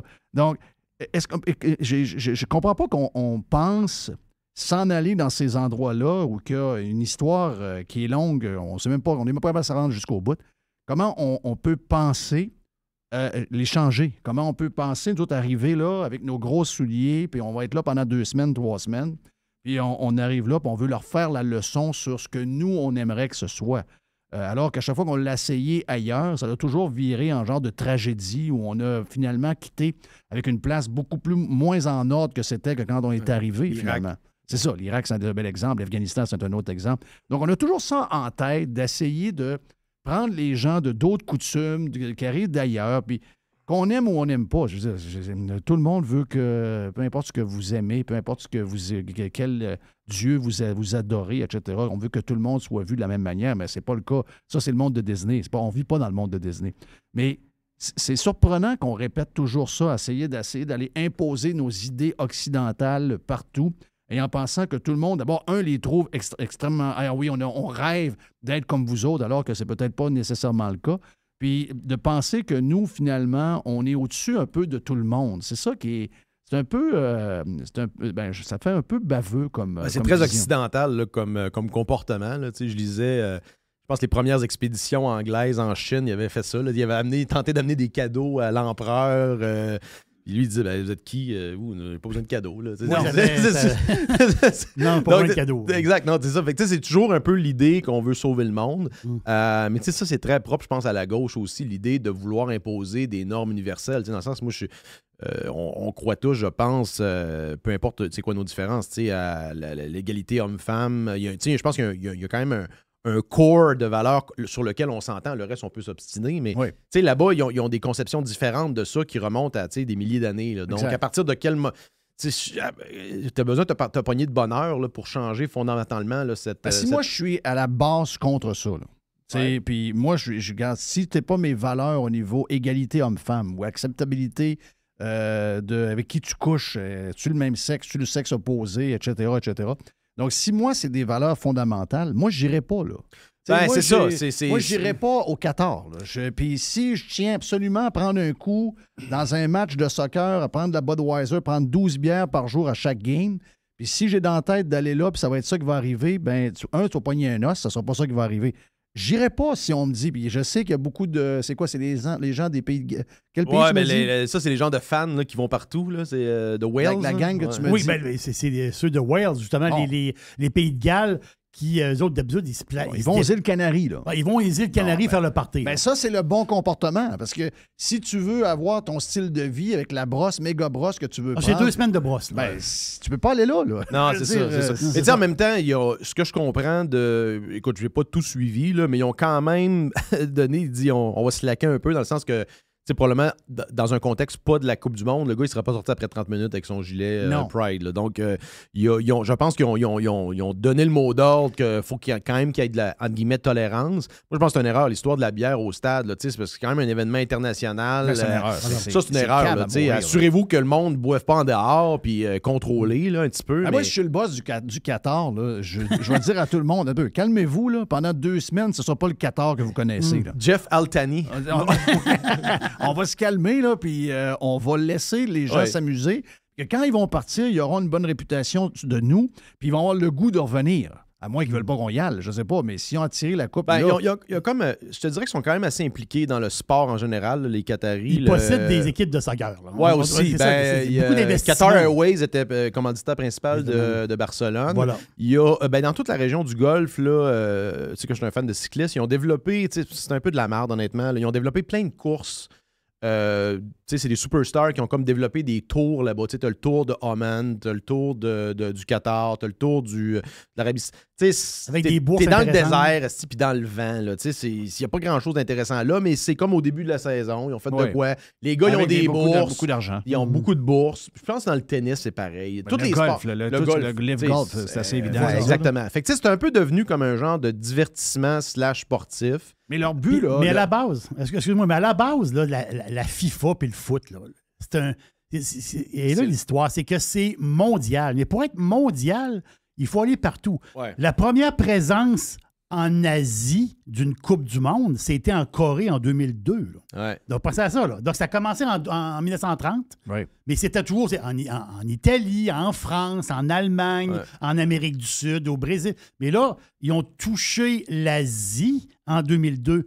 Mais la seule place qui n'était pas allé, justement, c'est dans un c'est euh, dans un pays musulman. La seule place, il n'était pas là encore. Donc, il n'avait pas encore touché à ça. Puis comme tu viens de dire, Joe, il y a beaucoup d'investissements. Les autres, déjà, sont très impliqués dans le foot. Donc, euh, ça revenait à eux autres d'une manière. À un moment Ouais. donné, à un moment donné être- il faut comme ça être- briser la glace. Ça va être fait, puis on va passer à d'autres choses C'est après. ça. Mais c'est un peu l'idée, c'est quel, quel impact ça va avoir, parce que le- le- le- je pense que la mission de la FIFA et des fédérations sportives en général, c'est de promouvoir le sport, puis s'assurer qu'il y a une croissance du sport. Puis je te refais le parallèle avec le cycliste. Souvent, Oui. ils disent que ça donne quoi d'aller là? Premièrement, il n'y a personne le long des courses, tout le monde s'en fout, alors qu'actuellement, ça commence à, là, tu commences à avoir des coureurs qui viennent d'Afrique. Là-bas, il y a des petites courses, c'est pas, pas international, mais tu as quand même des courses régionales, locales, avec des centaines de milliers de monde sur le bord de la route. Tout le monde embarque. Donc euh, là, tu as un vrai. un vrai potentiel foyer de, de talent là, qui s'en vient. Je pense que la moitié de l'Afrique, euh, genre Ouais, 25 mais- mais ans à moins. l'inverse, il y a aussi l'inverse. Dans, dans le sens que, euh, je- euh, bon, avant qu'il y ait Live Golf, euh, l'Arabie Saoudite a, a bâti des terrains de golf incroyables. désert. Ils ont, ils ont attiré un tournoi de la PGA, donc c'est un peu drôle de voir que la PGA maintenant est contre le Live pour des raisons de- liées à l'Arabie Saoudite. Alors que la PGA a fait un tournoi là, les gros noms y allaient. La F1 est là depuis deux ans. C'est la même chose pour les autres pays du, du, du Golfe. Donc, ces gens-là, avec aussi la, la, la, la, la- la- la Coupe de soccer, ces gens-là, ce qu'ils veulent un peu montrer, un peu à l'exemple de la Chine qui l'a fait à plusieurs niveaux que les Olympiques et que la Formule 1 avec un paquet d'événements, ils veulent montrer qu'ils sont ouverts. Sais, on n'est plus la place que vous pensiez qu'on était. On veut faire partie de votre gang. C'est un peu le, moi, je pense que c'est un peu le message qu'ils veulent Rappelle-toi envoyer. aussi Mhm. Poutine avec, euh, comment ça s'appelle, Ben, les Olympiques. Les là, Olympiques de euh, Sochi, Sochi. euh, la F1 aussi en même temps, ça, donc, sur le site de Sochi. Donc, le message est toujours le même. On paye des gros événements à coût de centaines de millions pour montrer des images de la grandeur du monde, qu'on est prêt pour la business, on est prêt à vous accueillir en touriste, on est prêt. Et là, finalement, euh, ben, si tu débarques avec un chandail gay, on te, on te crisse en dedans pendant une journée. Si tu prends une bière euh, sur le bord de la rue, on te met en prison pour te demander 2500 pièces US. Ben là, finalement, tu me veux-tu ou tu me veux pas? C'est un peu ça qui est bizarre. à- est Ouais, dur ben à c'est ça. Mais là, il y, a- il y a probablement un aspect où euh, je pense qu'ils ont déjà mis pas mal d'eau dans leur vin, dans le sens au niveau de la tolérance pour accueillir cet événement-là. Il y a tellement de monde qui y vont qu'à un moment donné, tu peux pas tout contrôler. là. Non. De un, mais ils ont, ils ont fait des erreurs. Comme l'histoire de la bière, moi, je pense que c'est une erreur magistrale. Ils, ont, ils en ont parlé une semaine de temps là, de ça. Là, fait qu'à un moment donné, euh, coût-bénéfice, là, ça t'a rapporté, ça, ça t'a rapporté quoi? Là? Je pense que tu es capable de tolérer ça. De toute façon, il y en a, euh, c'est assez hypocrite. Tu vas au W, euh, au centre-ville de Doha, euh, dans le bar, tu peux boire tout ce que tu veux. là. C'est c'est un, peu- c'est un peu hypocrite. Là. Parce que même les, même les gens locaux, de ce que je comprends, il y, y aurait. euh, Bon, ils ont une interdiction de par leur religion de prendre, de faire telle affaire, telle affaire, telle affaire, entre autres la boisson. Mais il semblerait que. Il y a un peu de. Il y a un genre de. de- de- Peut-être pas des bars clandestins, mais ils ont Oh, des endroits clair, clandestinement où ils, ils trichent un peu. là. Non, puis c'est reconnu aussi que tu sais, la, la- la- la royauté arabe, quand l'été vient euh, dans, justement dans la région du Golfe, là, les Lamborghini puis les Ferrari embarquent des avions cargo, ils débarquent ça à Londres. Puis Voilà. euh, là-bas, ils sont pas ça. habillés euh, en habits traditionnels, ils sont en sandales. Puis. Donc, il y a énormément d'hypocrisie. Ouais, exact. À. Marbella, ils prennent beaucoup de boissons. Ça, je peux te le dire. Ouais, en exactement. Espagne. Parce qu'à Marbella, il y a beaucoup de, des gens du Golfe. Mais, mais c'est tout le côté international. C'est sûr, c'est dur, c'est dur à comprendre l'histoire. Pendant des années, tu as eu des méga stars, des méga stars africains, des Africains Mm. dans les clubs de foot européens. Ouais. Et il n'y avait jamais eu de Coupe du Monde en Afrique. C'est-à-dire, c'est incroyable, ça ça. tenait pas de bout. C'est-à-dire, à un moment donné, quand tu veux être un sport international, puis ça, ils ont fait la Coupe du Monde euh, en Afrique du Sud, c'est en 2010. Ouais. Donc, à un moment donné, quand tu veux être international, faut que tu acceptes ça. C'est un premier pas. Je sais que c'est dole, là. Je sais, mais moi, je pense que ils vont, moi, je pense que les Qataris vont apprendre de ça. Moi, je pense qu'ils vont. Ouais, apprendre. il y a un impact, Il y a, euh, il y a- il y a- il y a quelque chose, là. Je- écoute, il y a une histoire euh, incroyable. Je suis allé en Côte d'Ivoire mais en 2000, euh, à peu près dans la même année. Puis, euh, écoute, la- faut que tu comprennes à quel point le soccer, c'est important pour eux autres, le foot. Là. Euh, il y avait un taxi, puis il y avait un. euh, J'étais assis en arrière. Le gars, il y avait un petit drapeau de Barcelone. J'ai dit au gars, je disais, Hey, ça parle très bien français, c'est francophone. Je dis, je suis allé, moi, à- au stade de Barcelone. Le gars, c'est comme si j'avais rencontré euh, le pape ou. euh, il dit, ah ouais, il dit, Oh, genre, ça existe pour vrai, cette place-là, Ouais, t'es allé? Ouais. Non, c'est incroyable. Puis euh, on m'expliquait que là-bas, il y avait une guerre civile, je pense, en 2001. Il y en a eu deux, en fait. Là. Puis en 2001, euh, il y a eu une guerre civile. Puis euh, à l'époque, tu te rappelles le Didier Drogba, Oui. qui a joué ici à l'Impact, je Oui. pense, de Montréal. Lui, c'est c'est la star locale. soccer, je le connais. Ouais, exact, exact. C'est la star locale. C'est la star locale. Puis lui, il avait réussi à, à imposer un cessez-le-feu en offrant une- un match de foot, genre dans le nord du pays. Il dit là, les deux factions, là, on va prendre un break, on va aller faire une game, puis euh, on, va, on va négocier. Le gars avait réussi à stopper une guerre Quand même. en faisant un, Un match de soccer. match Un match de de soccer. soccer. Ouais, c'est Ouais. incroyable. là. Puis euh, lui, par la suite, il a comme toujours réussi un peu à rapprocher euh, les partis, mais c'est de prouver à quel point qu'au-delà des conflits, puis au-delà du fondamentaliste qui souvent euh, alimente ces gens-là, le sport, ça rapproche les gens, puis ça... Oui. C'est, incroyable. Mais je me dire, ben, c'est drôle parce que les, les gens qui en parlent le plus en ce moment, nous, on en parle de cette manière-là aujourd'hui parce que ça, ça donne bien, puis euh, le timing est parfait en espérant qu'on va plus parler de sport euh, pour les, les prochains jours, les prochaines semaines. Mais euh, de voir que c'est la, la- grande gauche qu'on aime euh, saluer et d'un certain œil ridiculiser de temps à autre, ça vient beaucoup d'eux autres. les, euh, le respect des droits, le respect de la liberté de s'afficher, le respect de pouvoir faire ce qu'on veut, etc. Mais quand ils, sont vraiment de l'appliquer chez eux. C'est ça, qui est, c'est ça qui est c'est- weird, là. Exact, exact. Tu sais, c'est live and let live. Mais eux autres, ils ont choisi. euh, tu sais, je comprends qu'il y a un aspect. euh, Dans le sens, c'est pas. euh, moi, je te dirais, c'est pas totalement démocratique. Donc, tu peux, tu peux, tu sais, je peux me faire l'avocat du diable en disant comment qu'ils. How do they vote their way out of this? Dans le sens, comment, Oui. comment, tu, comment tu te votes en dehors de la royauté? Tu peux pas, dans un certain sens. Là. Fait que, oui, il y a une certaine partie de la population qui est comme captif de ça. Regarde, c'est- c'est quoi, on fait quoi au final? Il faut, faut faire un enva- faut, faut envahir, faut faire, faut- on fait quoi avec ça? C'est- Oui. Quoi, ça- quoi ta solution? Là, exact. on a vu ce que ça fait. Mais moi, c'est. euh, moi, j'ai souvent la tendance à dire ben, ce que tu prônes ailleurs, c'est des belles valeurs d'essayer de dire moi, je veux qu'à là-bas, il y ait des choses qui ressemblent à chez nous, c'est correct, mais est-ce qu'on peut régler chez nous avant? Oui. Parce que chez nous, euh, moi, ce que j'ai de travers, c'est qu'on est encore sur l'histoire des camionneurs, puis il y a des camionneurs que le compte de banque ont été euh, Ah saisis. c'est- Il, il s'est passé des choses très bizarres ici. Il y en a qui vont dire Ah, es-tu en train de comparer ce qui se passe ici avec la vie des homosexuels au Qatar? Euh, non, mais oui, dans une Ouais, certaine parce que c'est c'est c'est une question de- similaire. euh, c'est une question le, de principe, terrain là. est très glissant, puis moi, je pense que c'est ça que je m'ostinais à dire dans les années 2020, 2021 et même de- début 2022.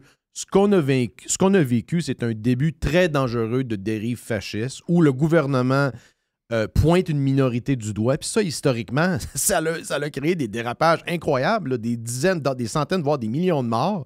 Euh, je dis pas que ça s'en allait là, mais c'est toujours les mêmes mécanismes. C'est ça qu'il faut reconnaître. Fait que tu pointes du doigt des, des manifestants pacifiques comme les camionneurs, parce que c'était le cas, puis c'est encore de plus en plus démontré Oui, avec la vraiment. commission. On veut dire, ça crève les yeux. Là. Oui. On se rend compte que justement, les autorités disaient non, non, ça n'a jamais vraiment été une menace. Euh, là, tu sais, on s'est rendu compte que dans le fond, le gouvernement Trudeau, le régime Trudeau euh, Ils a ont tenté. overreacted. Ils ont tenté par tous les moyens. D'ailleurs, il y avait une rumeur, je ne sais pas à quel point c'est euh, c'est, fondé l'histoire que le gars avec le drapeau nazi, c'était probablement un genre Ouais. de, de haut fonctionnaire ou whatever. Donc, tu sais, il y a un paquet d'affaires de même parce que moi, j'ai parlé à beaucoup de gens, moi, je suis pas allé, mais j'ai parlé à beaucoup de gens qui étaient là-bas, puis des gens d'ailleurs, des, tu sais, des minorités. Je parlais justement d'une femme de Montréal, euh, une haïtienne qui me disait Non, j'étais là-bas, moi j'ai même une photo de Pat King. Tu vas me dire c'est un. Oui, elle dit tu vas, tu vas dire c'est un, c'est un suprémaciste blanc. Elle dit la fille a une photo avec Pat King. Puis elle était écœurée. Elle dit Moi, je suis allé là-bas. Non, mais c'est c'est complètement débile. Donc l'idée que c'était un genre de regroupement violent. Elle dit non, non, la réalité, c'est que ce qui s'est passé, c'était réellement un mouvement qui est, qui est venu, encore une fois.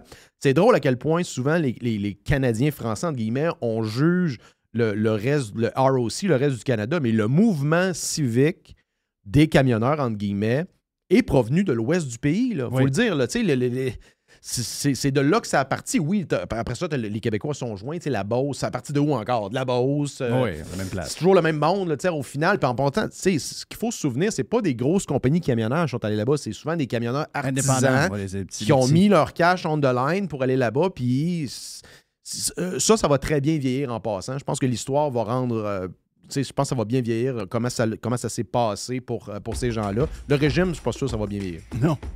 Hey, on vient dans un instant, vous êtes sur Radio Pirate Live. On, fait, on a fait une belle, une belle virée là, là, on va dire. Fais des beaux tours. On fait des beaux tours.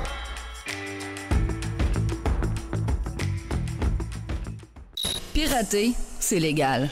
Radiopirate.com. Radio Pirate. Pirate. 100% 100% Pirate.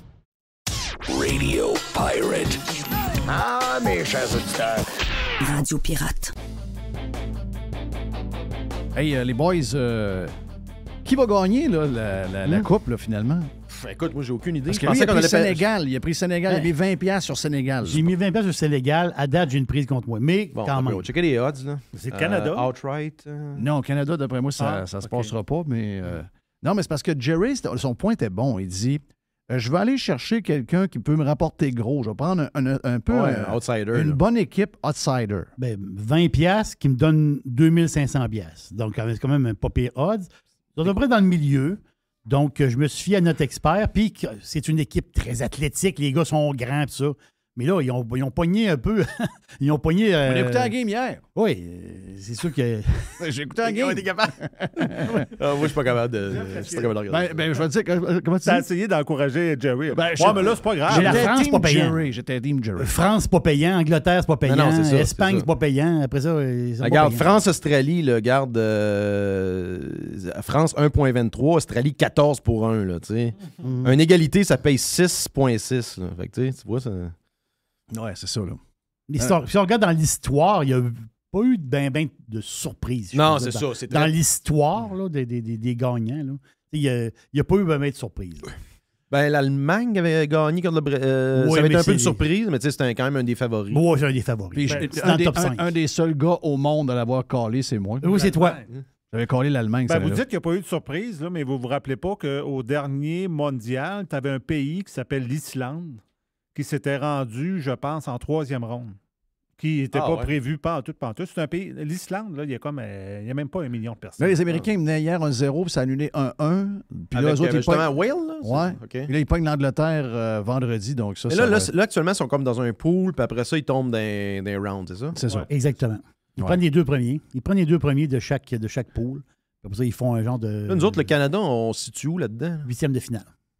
On va se rendre là, tu penses? Canada? Ouais. Ouais, on- il se passera rien, Canada. là. Non, mais ce qui arrive, Après moi, on va juste pas, on va juste parader. Ils n'ont jamais joué contre. Non, c'est ça. Ils vont, ils vont apprendre. là, Ils vont. Ils ont euh, jamais Mais, joué mais contre comment ça que le. le- C'est une question, honnêtement. là. Pourquoi le, le- le soccer- Pourquoi, à quel point on n'est pas compétitif sur la scène mondiale? Pourtant, on a pays- fait des terrains à tour de bras partout. Ouais, c'est ça. À quel On point. une Mais moi, je pense que nos structures sportives sont tout croches. Je pense que ça va avec le reste. Ouais. Tu sais, regarde notre, euh, regarde notre le hockey, OK? Comment se fait-il? Oh oui, je comprends. Je comprends la mathématique de. Il y a de plus en plus de joueurs américains qui jouent. Donc, ils sont 330 millions. Mettons qu'il y a un pourcentage de gens qui jouent. Puis je comprends que maintenant, avec les équipes de la Ligue nationale, même, on est capable d'avoir des gars de l'Arizona et des gars de Floride qui Mhm. n'étaient pas là il y a 20 C'est- ans. Exactement. On comprend ça. Euh, puis, euh, on en parlait tantôt en dehors des ondes. Les Suisses sont bons, les Allemands commencent à être bons. Il y a de plus en plus de joueurs en Europe qui sont bons. Puis, euh, il y a des pays qui développent des joueurs de hockey. Il n'y a pas juste la Suède, il n'y a pas juste la Finlande. Il y a des joueurs. Puis, il n'y a pas juste les Russes, puis il n'y a pas juste tous les pays de l'ancienne URSS. C'est de plus en plus global, tant mieux. Sauf que le Québec, il y a autre chose. Ce n'est pas juste une mathématique. C'est que le développement du hockey mineur est minable. C'est la structure est minable.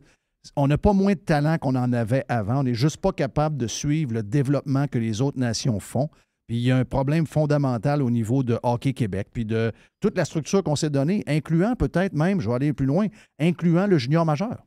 Ouais. Euh, Il y a, y a peut-être un système scolaire, il y a des, il y a de la- il va falloir investir de l'argent dans des coachs qui vont développer, des anciens gars qui vont travailler sur les skills. Hey, les- comment on développe les jeunes aujourd'hui? Euh, les, les gars de la Ligue nationale qui demeurent un peu partout aux États-Unis, puis qui, qui développent des écoles de hockey, des méthodes d'entraînement. C'est incroyable ce qu'ils font avec les jeunes aujourd'hui. Non, parce que je comprends aussi que tu as de plus en plus de joueurs qui proviennent du réseau universitaire américain, alors Oui. qu'avant, c'était inconcevable. C'était soit euh, Ligue junior majeur ou Oui. euh, Et- Ontario. Et je vais euh, te dire une affaire, c'est que, c'est drôle, j'en parlais à ma blonde hier. Je parlais de Cole Caulfield, à un moment donné, on a vu une vidéo, j'ai dit, sais-tu quoi qui est capoté de Cole Caulfield? Moi, je le suivais avec les Badgers de Wisconsin, puis euh, je suivais les games.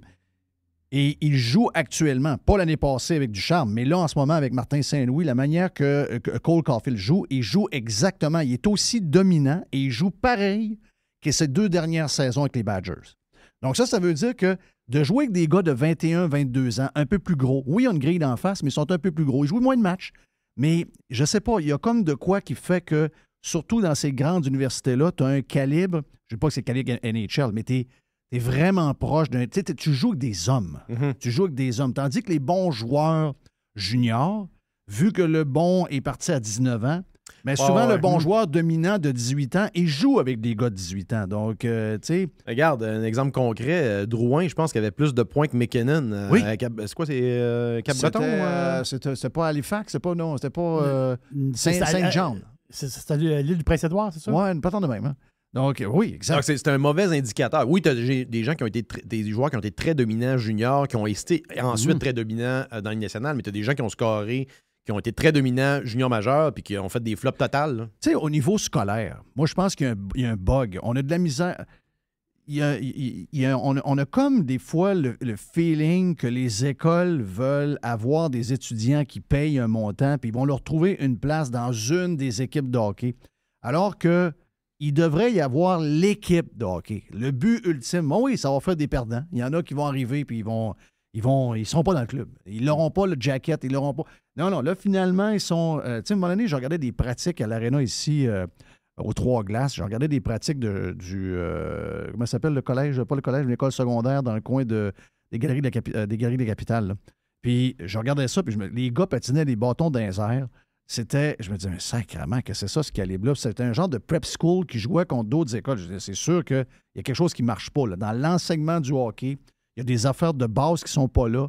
Mais on est plus pour le volume que finalement. Tu sais, à un moment donné, le volume, il est bon jeune. faut que tu aies de plus en plus de jeunes qui jouent au hockey, mais rapidement, la crème va monter. Oui, tu vas avoir des late bloomers, mais tu vas avoir la crème, Ouais. tu vas l'avoir vite. L'Académie Saint-Louis. tu C'est l'Académie Saint-Louis. tu sais, L'Académie Saint- c'est un super de bon programme, là, super de bonne école. Sauf que beaucoup de clubs dans l'Académie Saint-Louis pour faire plaisir à beaucoup de monde, pour qu'il y ait beaucoup de monde à l'école. OK. Tu sais, le but, c'est tout ça. Puis je pense même que le SSF, d'une certaine mesure, a été pogné là-dedans. Et euh, les performances du SSF ont baissé avec les années, justement parce qu'on essaie de, de plaire à beaucoup de monde.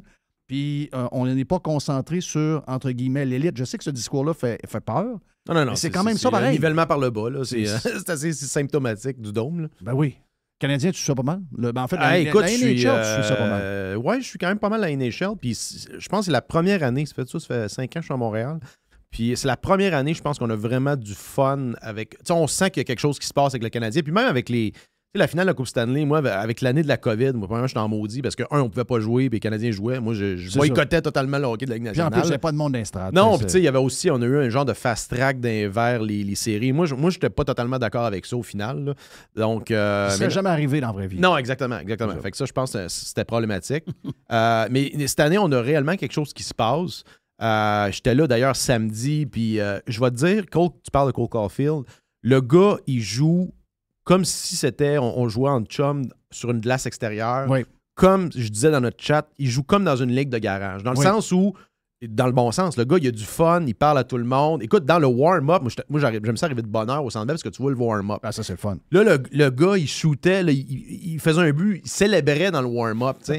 Fait que, tu sais, ça, ça a un effet, je pense, contagieux dans l'équipe. Tu vois, par exemple, Suzuki est plus réservé. Suzuki est plus. euh, Il a comme un rôle de capitaine aussi. exact. Là, il est plus down, down to earth. Euh, Caulfield, puis je sais pas si tu as entendu, je pense que c'est Mathieu Joseph, le gars de, des euh, Blue Jackets. Puis il Oui. avait mis un micro. Oui, il a dit, Puis, hey, euh, tu joues bien, Il dit, Hey, tu joues bien. Parce que là, c'est comme un, un peu devenu le petit chouchou de la Ligue nationale. là. T'as vu même euh, euh, Tortorella, quand il a scoré, il a ri en voulant, il souriait en voulant dire mon esti, tu sais. Mais, mais comme fan de hockey, tu veux, tu veux avoir ça. Tu veux produire des Cole Caulfield qui vont t'amener cette là, étincelle-là dans le. Martin Saint-Louis, c'est un cadeau du ciel. là. Absolument. Parce que jamais dans le système de la majorité des 4-5 derniers coachs du Canadien, d'abord, euh, à part quelques erreurs qu'il peut faire des fois, virer à POC, parce que ça va arriver, là. Ouais. on, on l'aurait benché une couple de fois. Puis jamais on lui donnerait la possibilité de faire ce qu'il a fait. Hey, deux, trois fois, il viraille, il change de place. Jamais ces coachs-là laisseraient faire ce qu'il fait. là. Parce que lui, c'est un. C'est un, un- un goal hunter. Lui, Ah lui, c'est lui- un- lui, c'est un chasseur, OK? Lui, il chasse. Donc, un chasseur, là, il est tout le temps en train de checker sa proie. C'est un gars d'offensive. là. Ah, regarde, il, il- il réussit toujours, puis les gars commencent à le connaître. Il sait exactement vers où il va se déplacer. Il sait où, où aller. Il est incroyable. Excuse-moi, là. La dernière minute que tu étais là, là contre Philadelphie, Écoute, le monde avait commencé à partir. Tu sais, quand. Imagine-toi, toi. fait que là, moi, je dis- j'ai comme eu un feeling, je vais attendre, je vais rester. Jusqu'à la dernière Hey, seconde. le- écoute, le Centre Bell a explosé. Puis après ça, tu as, eu, euh, t'as eu les shootouts. Tu sais, tu as eu Allen qui a laissé comme deux buts, qui n'aurait pas dû rentrer, mais tu sais, il a bien fait des shootouts. Mais c'est là que tu- ça revient à notre discussion. Tu sais, tu peux pas avoir un gardien de 8-10 millions quand tu as des gardiens, tu sais, pourquoi le. le, c'est 20 3 millions les deux Ben, gardiens ensemble. c'est ça. Fait que, ça fait quoi? 80% de la job Ben pour, oui, ben euh, oui. pour 10 tu sais, pour, euh, pour 25% du prix, même pas. Là. Fait que c'est en avant que ça se gagne. Puis honnêtement, la- euh, la- la- la- on n'en parle pas, mais la défensive là, du Canadien, euh, Jack Eye, on parle que c'est un bagarreur, mais il y a un gars, il a un maudit bon sens du hockey, là, toujours bien placé. David Savard, c'est bon aussi. Gouli, euh, pff, honnêtement, Gouli est bon. Gouli, très bon. Oui. Donc, euh, des bonnes paires de défenseurs. Moi, je vais vous dire de quoi. euh, tu sais, des fois, donc, regarde, on- au début de l'année, rappelez-vous, là, ah, euh, Ottawa, un super de club. Quand ils sont allés chercher Giroud, c'est le vétéran qui manquait avec les jeunes. Là, finalement, je ne sais pas dans la dernière semaine comment ça se passe, mais tu sais, il y, y a des surprises. Même Floride, en passant. Floride n'a pas la saison qu'il voulait avec un super de bon club. De ce que moi, je lis de là-bas, c'est que le nouveau coach, euh, Morris, ça passe pas pantoute. OK? Ah ouais? Euh, 0, 0, 0, 0, 0. Ça, ça passe zéro avec les gars. Il y a déjà un froid avec, avec euh, des joueurs importants du club. Donc, ça, vois-tu, c'est une opportunité. là. Donc, tu as des clubs qui vont probablement peut-être faire les playoffs, mais ils sont peut-être, ils vont être à la limite. Je je veux pas vendre de quoi, là, mais Canadien est pas out des playoffs. Non, mais, mais, mais moi, j'ai voyais jouer euh, samedi, puis là, je me, je me questionnais. Là, c'est quoi, on veut pas faire les playoffs parce qu'on veut. Mais à quel point tu changes, tu pivotes, de dire, mais non, non, il va Moi, je garderais, moi, je garderais le même, le même focus. Ouais. Mais je pense qu'il va arriver, même avec le focus, je pense qu'il va arriver une surprise peut-être parce que euh, c'est ça, le hockey, c'est le même. Euh, je veux dire, euh, Là, il y en a plus, des il affaires manquait, qui arrivent, on ne savait pas euh, qu'elle là, arrivait. il manquait, tu vois, il manquait Armia samedi. Là, Drouin, puis là, écoute, on le blâme pas mal, mais le gars, il passe. Moi, je trouve que c'est un bon passeur, là, euh, Drouin. Euh, là, Slakov- Slavkovski, on fait quoi avec ça? Là? On- il reste-tu ou. euh, Il reste. Ouais? Oui, il reste. Il va rester. là. Oui. Ben, tu sais, c'est le premier choix en même temps. Tu peux comme pas le. pas le choix. Il a envoyé Ben, Shane Wright, il l'a Ouais, non, envoyé. Shane Wright l'a envoyé dans des mineurs. Parce que le gars, je le regarde. Écoute, c'est sûr qu'il est gros. Le long des bandes, il est, il est fort. Il manque un. il- il- Ouais. je, je- je- c'est parce que je comprends le point, Jerry, que ton premier choix, tu dois le faire jouer. Ah, OK? je garantis. Euh, Mais je comprends ça. Ça Mais- amène, ça amène une dynamique. Oui, mais sauf que c'était probablement une des moins bonnes années sur 10 ans Ouais. pour premier, deuxième et troisième choix. Un point où on ne savait pas qui allait l'être. Donc, ça, peut-être que ça, ça scrape un peu la, tu sais, la philosophie de un premier choix, c'est dans l'équipe, Ouais. euh, Tu peu regardes importe ce qui lui, arrive. lui à New Jersey. Là. Oui. Ben As-tu oui. le show? Ah non, regarde, c'est incroyable. New Jersey qui a encore gagné, je pense. 13, 13 matchs de fil. là. C'est l'enfer. 13 en ligne. C'est l'enfer. La fille, elle, elle demande, euh, une journaliste, je sais pas si tu l'as vu, le, le petit vidéo, elle dit là, euh, comment vous allez faire pour avoir un petit peu plus de constance sur 60 minutes? Le kid, il répond, ben là, c'est parce que ça fait, ça fait 10 games de, de suite Oui, qu'on gagne. c'est là. ça. Ouais, c'est ça. Non, non, c'est très. Je pense qu'on est correct. Mais, mais la NHL, tu sais, tu le disais tantôt, euh, il y a des opportunités. La NHL, quand on regarde le soccer, les gens qui suivent le hockey, qui, tu sais, c'est dur à comprendre, la, la patente du soccer, c'est mondial, mais tu sais, c'est un sport qui est très long, long, long, long.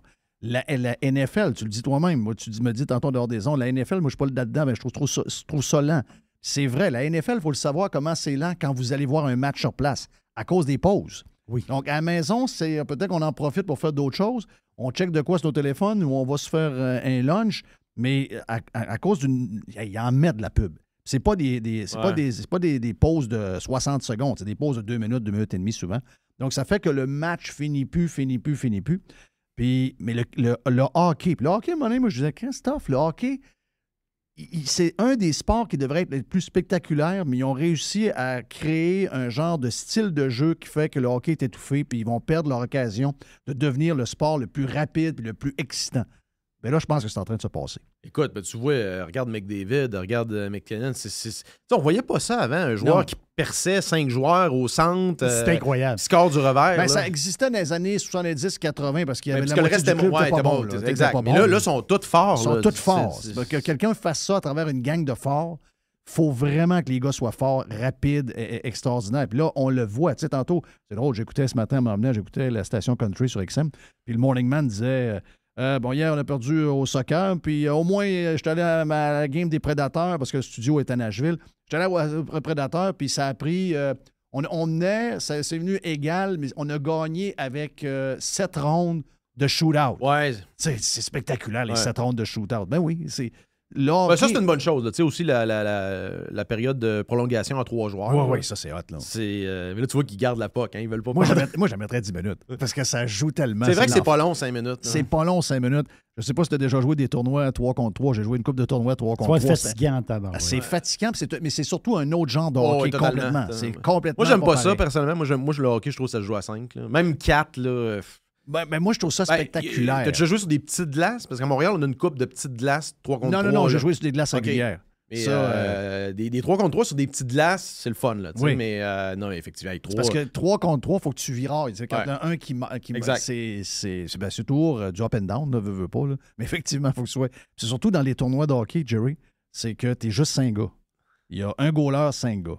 Donc, tu peux pas aller là si tu pris un coup à Non, non, non, ça, c'est Ben, sûr. euh, peut-être à 20 quelques années. Oui, à, ben, à 22 ans. En haut de peut-être. 40, c'est une autre histoire. C'est impo- c'est impossible.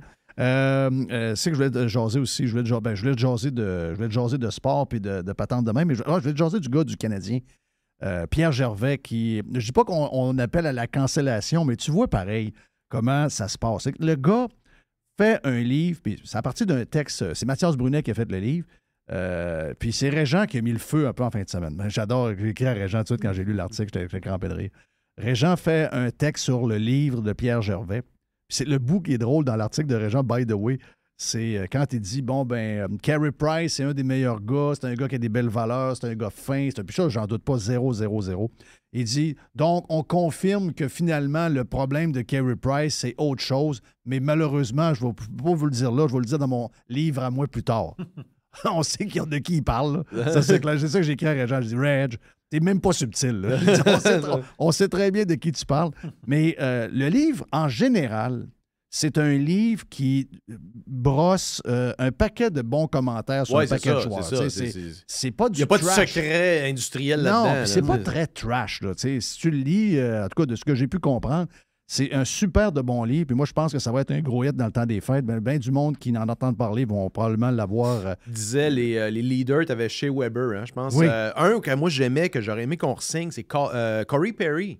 Oui. Il dit, il dit Il l'a Corey dit, l'a- Exact, dit là-dedans. exact. Il dit, ben ça, Les jeunes regardaient ça, puis. Eh, Mais ça, on n'a-tu pas compris? Sérieux, là. C'est quoi? Il voulait. euh, euh, euh, voyons, Marc Chose voulait un an, puis lui, il voulait deux ans. Donne-y deux ans. Ah non, mais le gars, il est déménagé. Là, il coûtait un million Ouais, par année. Il coûtait rien, là. Puis, regarde, as-tu vu là, les services qu'il a rendus au Lightning? C'est extraordinaire. Mais c'est ça. Donc, que des, bons, que des bons mots sur un paquet de gars. Regarde, voici, je sens la perception de. On ne l'avait pas, la, la bonne perception du capitaine l'année passée. Lui, il dit non, non, c'est un vrai, c'est un vrai de vrai, c'est un gars, c'est un leader, c'est un, c'est un, c'est un alpha, c'est un gars incroyable. Puis là, il dit, ben, by the way, il dit, euh, chose, euh, Pacioretty, euh, pas fort fort, pas un gars super fin, pas un, pas un bon humain. OK, Ouais. parfait. Ensuite, euh, nous dit que Duchamp, pas très bon. Ouais. Ben, moi, je suis pas dans la chambre, là, mais j'ai assez en dedans de moi pour te, te dire que il était vraiment pas bon, là. Puis que Marc Bergevin est un ado puis un gars qui a pas trop compris comment ça se passe le hockey d'aujourd'hui. Ben ça non Ben, plus, j'ai ça, pas euh, à Montréal, c'est connu. Là, Ben, le gars, on le voyait partout. Là, sais, le, Cana- oui. le Canadien perdait si le gars était au grinder. C'est ça. Mais, mais c'est le côté philosophique de la patente. Parce que C'est quand, Parce que ça, ce qu'il dit, c'est ce qui Ce qu'il y a reste- dans la ce qu'il y a chambre, dans la voilà. chambre reste dans la chambre. Ouais. c'est euh, l'ancien joueur du Canadien là, qui est rendu animateur. Là, la tendresse, ça, Guillaume La Ouais. tendresse. Mais ça, qui, lui, il dit, il dit ça, c'est épouvantable. Lui, lui, il trouve ça épouvantable, épouvantable parce qu'il dit. Il dit on est, on est une petite gang, on est ensemble. C'est un peu comme une espèce de, de- de famille, en fin de compte. Là, c'est comme quelqu'un qui, qui sort les secrets de famille. Ouais, mais tu sais, là. euh, euh, si tu sors des. des- c'est en, en fait, c'est des anecdotes. Là, tu sais, c'est pas. Ouais, euh, ouais. un gars qui s'est confié. que C'est pas, c'est pas ça. Là, tu sais, Je pense que Ouais. c'est Il y a c'est pas plus des j'ai vu anecdotes. tel joueur prendre une ligne de coke. là. Non, non, c'est ça. C'est c'est des affaires qu'on est tous capables de. Ben, ça confirme bien des affaires qu'on pensait, finalement. Non, non, exact, exact. Là, choses. tu sais. Mais, mais c'est encore une affaire de cancellation, pareil. Voyons, le gars, le gars, il, a- il- il- Responsable d'équipement. c'est le, le responsable des bâtons. Moi, je ne savais pas. Je pensais que c'était un genre de coach. Je dis, qui ce gars-là? Non, non, c'est responsable d'équipement. Oui, c'est le responsable d'équipement qui est là depuis toujours. Il a fait les Olympiques, il a fait des gros clubs. Le gars, il a plein d'anecdotes à raconter. Je veux dire, c'est c'est quoi, là? On va se. Ce qui reste dans la chambre, euh, ce qui, ce qui se passe dans la chambre reste dans la chambre. Non. Euh, anyway, ça, c'est pas vrai, ça. C'est pas vrai. Il va y avoir plein d'affaires qui courent. Et moi, je pense que ce que ça fait, c'est que ça donne un, œil au beurre noir aux journalistes. C'est ça que ça fait. Hey, c'est ça C'est l'histoire. parce qu'eux autres, ils n'ont jamais sorti histoire, rien de ça. là. ben, C'est ça, Ils en savent un paquet d'affaires. Ben oui. Ils n'ont pas les couilles des sortir. Peut-être que les autres, ils veulent, mais que le contentieux ne veut pas, ou je sais pas Tu te rappelles, à l'époque, ça avait commencé un peu avec les, tu sais, les sites qui avaient commencé, les sites de potins, de hockey. Oui. Puis euh, là, un les journalistes ils avaient capoté, parce que là, whoop, t'as peu, là, on a des compétiteurs, là. Oui. Ces blogs-là, puis... Ben, euh, Qui sont devenus, c'est là que les gens s'informent plus que le ben grand oui, journal, exact. là, Non, toi c'est- et moi. Là. Parce que, sais, dans les coulisses, notre chum Max, c'est- c'est pas mal meilleur. C'est pas mal ça. la oui. référence dans, pour le. Ah oui. Parce que c'est facile, puis tu as toutes les, les- puis t'as plein de nouvelles des autres équipes de la, de- de la Ligue. là. Des fois, dans les, les- les journalistes conventionnels, des fois, c'est plate. en Non, non, il parle juste du Canadien. C'est là. Il plate parle juste du Canadien. honnêtement, c'est un- c'est assez de surface. là. Oui. C'est pas très. euh, Ben, c'est surtout le style aussi. Tu sais, je veux dire, Marc Defoy, il était peut-être très bon pour ce qu'on avait besoin de savoir en 1990. Oui. Mais aujourd'hui. C'est pas diathlétique, là. Si tu, ben, c'est ça. Ben, On s'entend-tu, là? Tu sais, c'est- c'est ça, là. D'ailleurs, Il- es-tu il- abonné à Diathlétique? Euh, non, mais que je suis pauvre. Ouais. C'est pas il faut que tu mettes, faut que t'en, lâches Faut que Oui, c'est ça l'affaire. Mais Ah, ça tu a des actions de Disney. ça a l'air à se passer là pas mal, par exemple. Ben, ça, c'est- c'est-tu lui qu'il y a souvent il y a des, des, des athlètes eux-mêmes qui écrivent? Oui. là? Oui, ça, oui. ouais. T'as Pierre Lebrun aussi qui est là-dedans, là, t'as un paquet d'affaires. Pierre Lebrun, il faut que j'y parle d'ailleurs. Pierre Lebrun, faut. Parce que lui, il était à TSN. Ouais, mais il euh, avait comme quitté maintenant. Hein? Ouais, mais là, il est revenu parce Mais il était lui, pas à NHL.com aussi maintenant? lui, il était ESPN longtemps. OK. Euh, et après ça, quand ESPN avait perdu, là, ils ont gagné le contrat, mais quand ils ont perdu pour NBC, il est parti pour euh, euh, NHL.com. Et il a fait CBC avec. euh, puis là, ben, c'est maintenant. euh, ben, c'est pas, TSN, c'est. euh, il est avec euh, l'autre Sportsnet. gang, Sportsnet. Ouais. Mais c'est parce que c'est le plus affreux décor. Lui, il est chez eux. lui. Il ne veut pas retourner. Je sais pas, il n'y a peut-être pas de la COVID. Le plus, le plus affreux décor que tu peux pas avoir en arrière.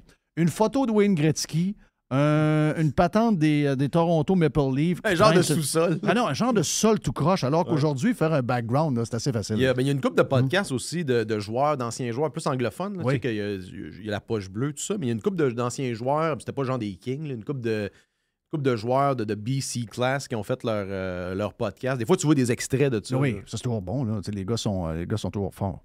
Qu'est-ce qu'il y a, Jerry? Euh, Attends un peu, là. Je viens d'aller voir The Athletic. OK. Moi, je savais, je dis, c'est-tu 12, 13 piastres par mois? Non, je pense que c'est plus que ça. Euh, ben là, on l'a en spécial. Combien? Une pièce par mois, puis le deal finit dans six jours. OK, mais c'est une pièce Voilà. par mois pour combien de temps? Pour un an. Pour un an, puis après ça, ça tombe. euh, Oui. C'est le, c'est le Moi, j'ai deal fait, là. ça avec, là. j'ai fait ça avec beaucoup de, de Oui. journaux. Euh, Wall Mais- Street Journal fait ça de temps en temps. Oui, mais tu sais Oui. quoi? Quand tu veux te désabonner, ben, moi, je me laisse toujours une note, Même tu sais, une alarme. Puis là, ben, ça me dit, OK, il faut que tu te désabonnes avant qu'il change le gros prix. Donc là, tu essaies de te désabonner sur le site. Oh oui, assez Oublie- de trouver. fini. Mais, euh, faut le tes appels. Il y a- Tu faut que que- tu appelles. Il faut que tu les appelles. Non, mais il y a- il y a- ça, faut que tu changes ton adresse. Parce que là, j'avais checké. Il faut que tu changes ton adresse. Je pense qu'il y a une couple d'États qui ont obligé de le désabonnement. Quand tu mets ton, ton adresse dans cet État-là, tu as l'option. OK. OK. Ouais, ouais. Il y a comme des lois qui ont passé localement, puis tu es Hey. obligé de. J'ai quoi, il y a un mois, j'en avais 3-4, hein? J'appelais l'après-midi, boum, boum, boum, boum, boum, Mais, 3, mais 4. ça, euh, comme le. Wall Street Journal, ils savaient que le monde faisait ça. Fait que là, tu es rendu avec un abonnement, je pense que c'est 15$ all-in. là. OK. Euh, digital. C'est juste, le- juste, la, Oh, juste oui. la version C'est mobile. c'est ça que je paye, moi. C'est ça. Moi, je paye genre de 12 piastres. là. Ils m'ont Ouais, fait un c'est- deal. 15$. Euh, Ouais, c'est ça. Ben, c'est pour ceux-là qui. euh, c'est ce qu'on appelle les infidèles. là. Donc, euh, les infidèles, ben, quand tu XM sérieux, je suis rendu, moi, 5,50 par mois. Non, mais ça, en plus, ils savent. Qu'il y a probablement une bonne partie de leur clientèle qui c'est des magasins de même, Oh, et qui oui. essaient de leur faire des forfaits pour qu'ils restent. Là, en- ben, ils savent que probablement c'est une affaire de- de- d'actuaire. ils doivent se dire c'est sûr que, anyway, il l'est, mais l'année d'après au renouvellement, c'est sûr qu'on. Non, je vais l'avoir, mais Ah, il, il va s'en rendre pas compte qu'il Ouais. paye le gros prix. Mais moi, j'ai des alarmes. hey, hey, on revient dans un instant, petite boîte avec Jerry pour finir un petit 10 minutes après. Jeff Fillion. The Revolution. Radiopirate.com. Fresh 100%. 100% pirate. Hey, la boîte, Jerry, on est avec Joe encore euh, Mais je suis honoré d'avoir euh, Joe Hamel dans ma boîte. dans ta Hein? boîte? Je suis honoré. Honoré, honoré. Regarde. C'est c'est une boîte un peu, un peu spéciale. D'habitude, c'est- la boîte bizarre, c'est le vendredi, espèce de boîte à pizza, mais j'ai une boîte un peu, un peu spéciale. Hey, êtes-vous êtes fan de télé-réalité? Moi, zéro. Zéro. L'as-tu déjà été, tu l'es plus? J'ai Ou- jamais été. Oh, t'as- l'as jamais été? Ça m'intéresse pas. Toi, Joe, non. Non, du tout. euh, C'est pas pas- vraiment. ouais, il faut. je Ben, J'aimais bien euh, ceux qui avaient comme tu sais, euh, Ozzy Osbourne, Ouais, ces ouais, affaires-là, ouais, là, un, ouais, peu, ouais. un, peu, un peu fringe. crier après son chien, Oh, puis euh, ouais. c'est ça, là. Puis, euh, hey, ça, il, crie- il cherche sa femme, là. il cherche sa femme dans la maison, hein. Ah oui. C'est ça, elle est partie. Elle est allée faire un tour. Ozzy qui est déménagé deux jours en Grande-Bretagne qui est revenu à Los Angeles. Ah oui, il est revenu. Ben, c'est sûr. Voyons donc. Ozzy qui s'en va en Angleterre. Ah oui, j'en retourne chez. I'm, I'm going back. I'm going back. Ben oui, on s'en parle.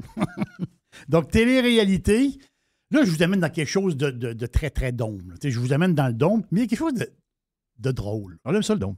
Oui, mais C'est place spéciale. très spécial.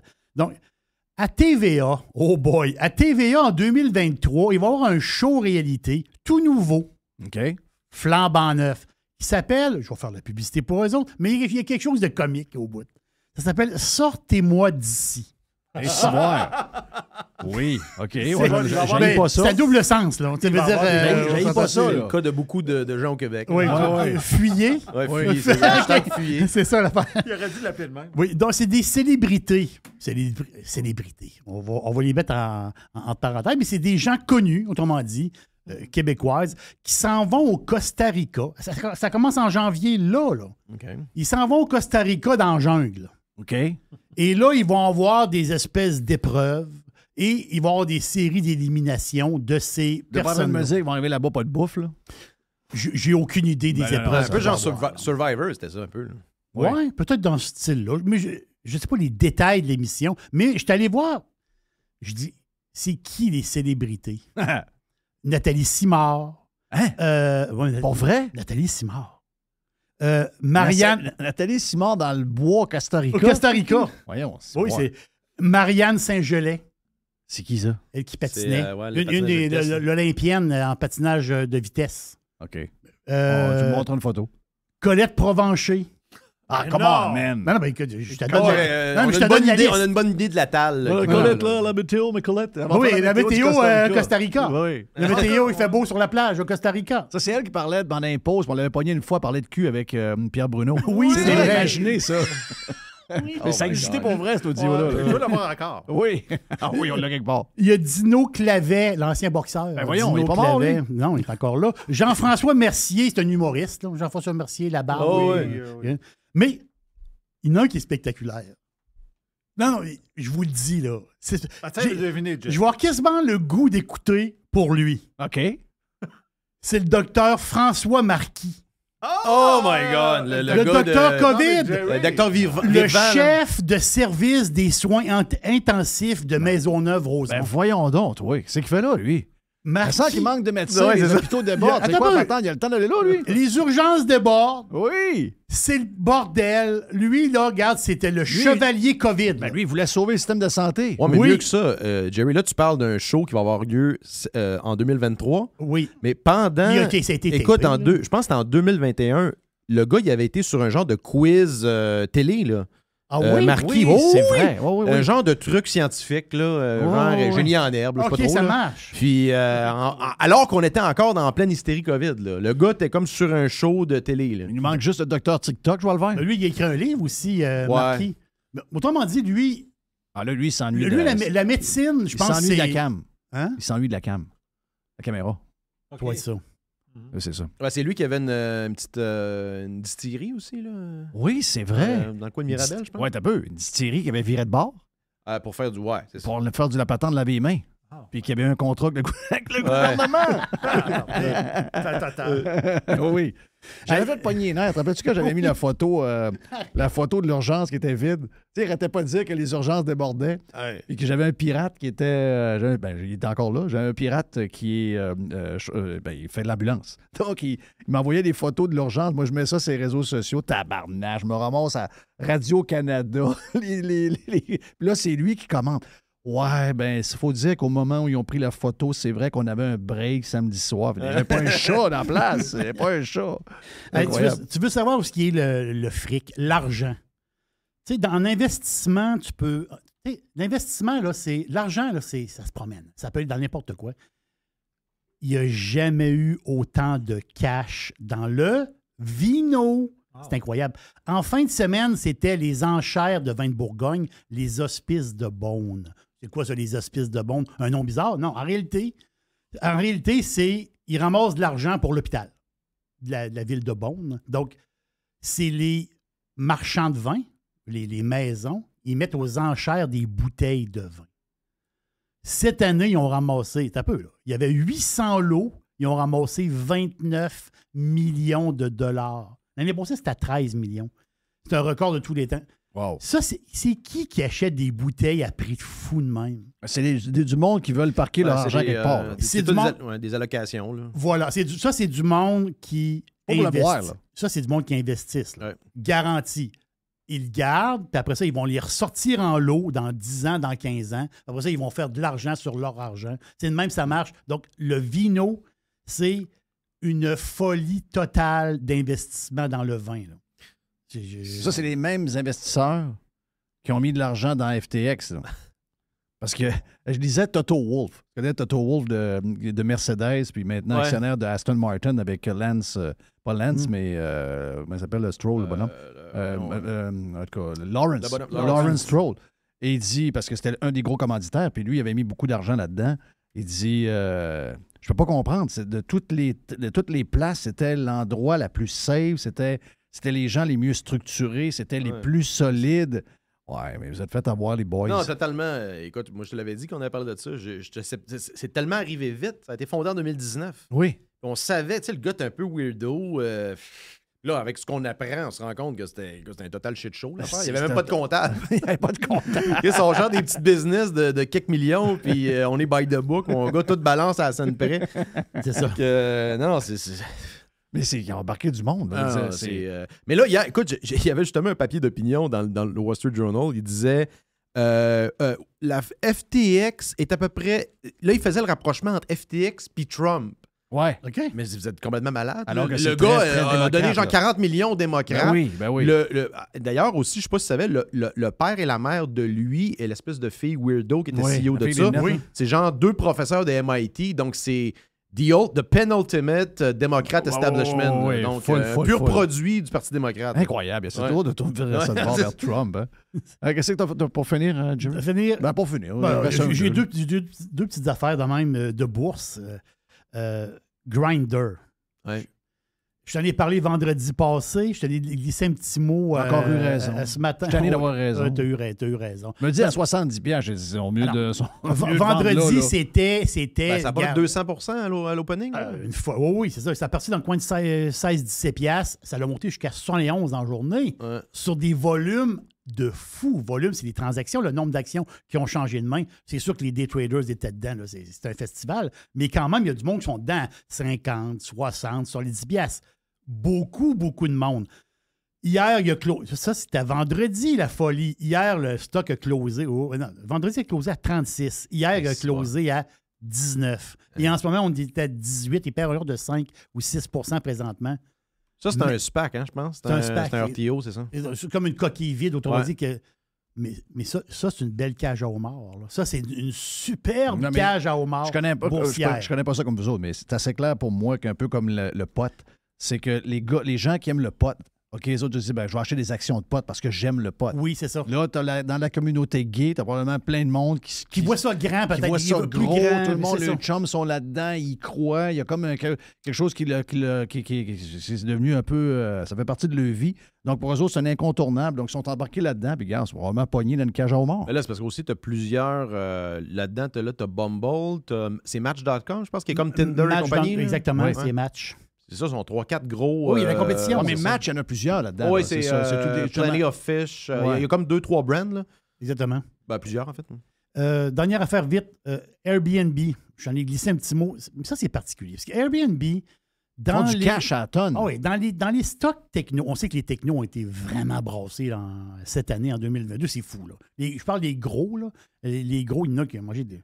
Facebook, là, c'est pas chic. là. Amazon, ça, ça, ça a brassé. Je parle des, gros- des gros tics techno. Je compare pas Amazon à Airbnb, mais je veux dire, dans le sens que Airbnb, oui, ils ont perdu, mais quand même, c'est une compagnie profitable. Tu des fois, tu dis, ces compagnies-là, ils font-tu de l'argent? Airbnb fait beaucoup d'argent, ils font beaucoup de cash. Présentement, bon, OK. Mais les derniers résultats financiers sont phénoménal. Mais le stock en bourse n'a pas bougé. Ah, baissé de 4-5% chose comme ça. Puis là, il taponne, ça taponne. Mais le grand CEO, c'est Brian Chesky. Chesky, il dit. C'est le fondateur, exactement ça. Chesky, c'est intéressant ce qu'il disait. Il dit euh, c'est une machine à cash. Mais l'affaire, c'est que c'est toujours fragile à un moment donné. Tu sais, quand on produit, lui, il dit en ce moment, on est comme. Il faut, il faut, il faut faire quelque chose. Parce qu'en ce moment, les prix montent. La tendance, quand tu loues sur Airbnb, les prix montent, les prix montent, les prix montent. Et euh, qu'est-ce qui fait monter le prix? En général, c'est les, les, les charges de faire le ménage. Oui. Ah. Jusqu'à 30% des fois du montant, c'est le ménage. Donc, lui, il dit, parce qu'il y a juste 15% des listings que c'est. Il ne charge pas tu sais, pour le ménage, pour le ramassage. Donc, lui, il est inquiet un peu, ben inquiet, faisons de parler, mais lui, il dit que il faut que Airbnb, il faut ralentir la hausse parce que c'est sûr rendu- qu'il n'y a pas le contrôle, c'est c'est pas à lui. exactement parce que le, Le, prix- parc immobilier, pas à lui. le parc, c'est et là l'histoire. Fait que là, quand, ça commence à monter, monter, monter, puis là, on parlait justement à des gens proches de moi. Ah, Air- Airbnb. Ah non, en fait, compte, euh, je vais. euh, j'ai eu un deal à l'hôtel. Parce qu'on va, tu sais, Ouais. Quand tu montes, tu montes, tu montes, mais c'est ça le dans. Airbnb dans notre tête, là, c'était. Ce que je t'ai dit ce matin sur Radio Pirate Prime, il y a des affaires de même, des exemples. Airbnb, c'est un autre exemple. Airbnb, c'est qu'avant, tu avais l'impression que tu allais sur Airbnb, il y avait des deals. Des deals. Tu allais sur Wayfair, tu avais l'impression de, de sauver énormément d'argent. Et attends un peu, je vais même te dire que c'est le même feeling sur Amazon. Parce que oui, tout le monde s'ajuste. Le, le brick and mortar va s'ajuster. Tout le monde va s'ajuster à ce qui, ce qui arrive en compétition. Puis les hôtels, mais, mais dans le cas des hôtels, c'est spécial parce que les hôtels, les augmentations des deux, trois dernières années, c'était effrayant. Effrayant. Comme- Comment ça coûte cher? Et là, Airbnb n'est pas capable. Mais pour toutes sortes de raisons. Les gens achètent des, euh, des, soit des condos ou des maisons à des prix de fou, doivent rénover. Ensuite, tu as les frais de, de ce que tu les- dis. les frais de ménage. Il y a des- de plus en plus de gouvernements qui interviennent pour euh, charger des taxes Des de ci, des taxes, de des ça. ci, des ça. Donc, des deals, ben, on a une maison à 199$ piastres par nuit. Ça n'existait pas bien, bien. Non. C'était un peu, un peu euh, le, le- le- le- le- le- le créneau que voulait occuper Sander.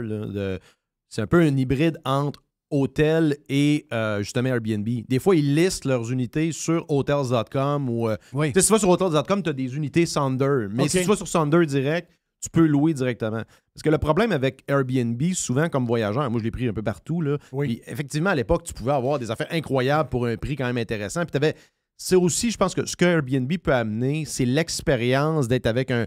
Parce que moi, la vraie expérience Airbnb, c'est quand tu restes chez quelqu'un puis la personne est là. Mettons, Oui. tu as une chambre ou tu as une unité à part. Au départ, ou- c'était ça. là. parce que le- le- souvent, les gens qui font ça, c'est des gens qui connaissent leur coin, c'est des genres de petits guides en même temps. Moi, j'avais passé deux semaines avec une famille à Girona, en Espagne. C'était comme sur un genre de domaine.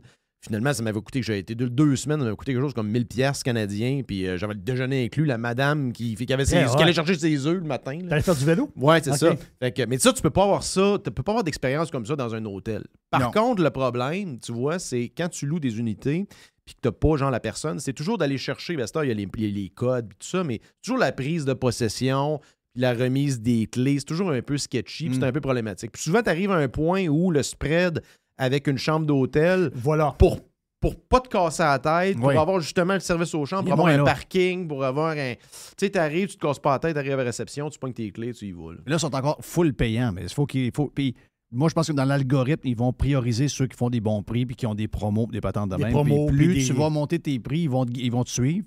Et plus ils vont te Tu vas être, pénaliser tu dans vas être plus loin. Tu vas être plus Ils n'ont loin. pas le choix. Ils n'ont pas le choix, c'est ça, il faut qu'ils envoient comme. Il euh, mais comme- mais comme c'est toujours, tu vois, c'est toujours, même si la compagnie en ce moment fait de l'argent comme de l'eau, tu vois quand même qu'il y a. euh, il est à son affaire, Chesky. C'est- J'ai beaucoup aimé ça. là. Tu Burger à Jeff euh, au Cosmos jusqu'au 30 novembre. Il nous reste euh, encore quelques jours, donc deux endroits, Laurier et également Le Bourgneuf. N'oubliez pas qu'on va les manger avec nos gagnants demain, mon ami Jerry et Mr. White. On va manger quatre gagnants accompagnés demain un bon burger avec une bière ou encore une coupe de vin. Donc, merci au Cosmos de nous inviter. Qu'est-ce que je voulais dire? Ah oui, Régent, c'est les gens qui se demandent il est où Régent matin? Euh, ben, ben, en fait, c'est que ce matin, Régent prenait l'avion. Donc, ce midi, pour lui, c'était impossible de- d'y être. Donc, euh, puis la semaine prochaine, il y a une patente. Là, de, il n'est pas certain, mais il va essayer de nous trouver un trou. Mon ami euh, Jess va nous parler la semaine prochaine parce qu'il est en train de finaliser son documentaire sur le Canadien et les Nordiques. Donc, euh, la minute qu'on a un trou avec euh, Régent, c'est pas mardi. Il y a quelque chose pour nous autres un mercredi ou un jeudi. Anyway, on va y parler. Mon nom est Jeff Fillion. On vous souhaite une bonne journée sur Radio Pirate Live. Merci, euh, mon ami Joe. Yes. C'est le fun au bout. Très à, le à fun. refaire. À Très, refaire. très le fun. Jerry, thank you. Merci pour euh, Prime également. On a fait Radio Pirate Prime un peu plus tôt. Si vous voulez vous abonner, allez sur radiopirate.com. Et le producer, Mr. Blanco, thank you, man. On s'en parle demain.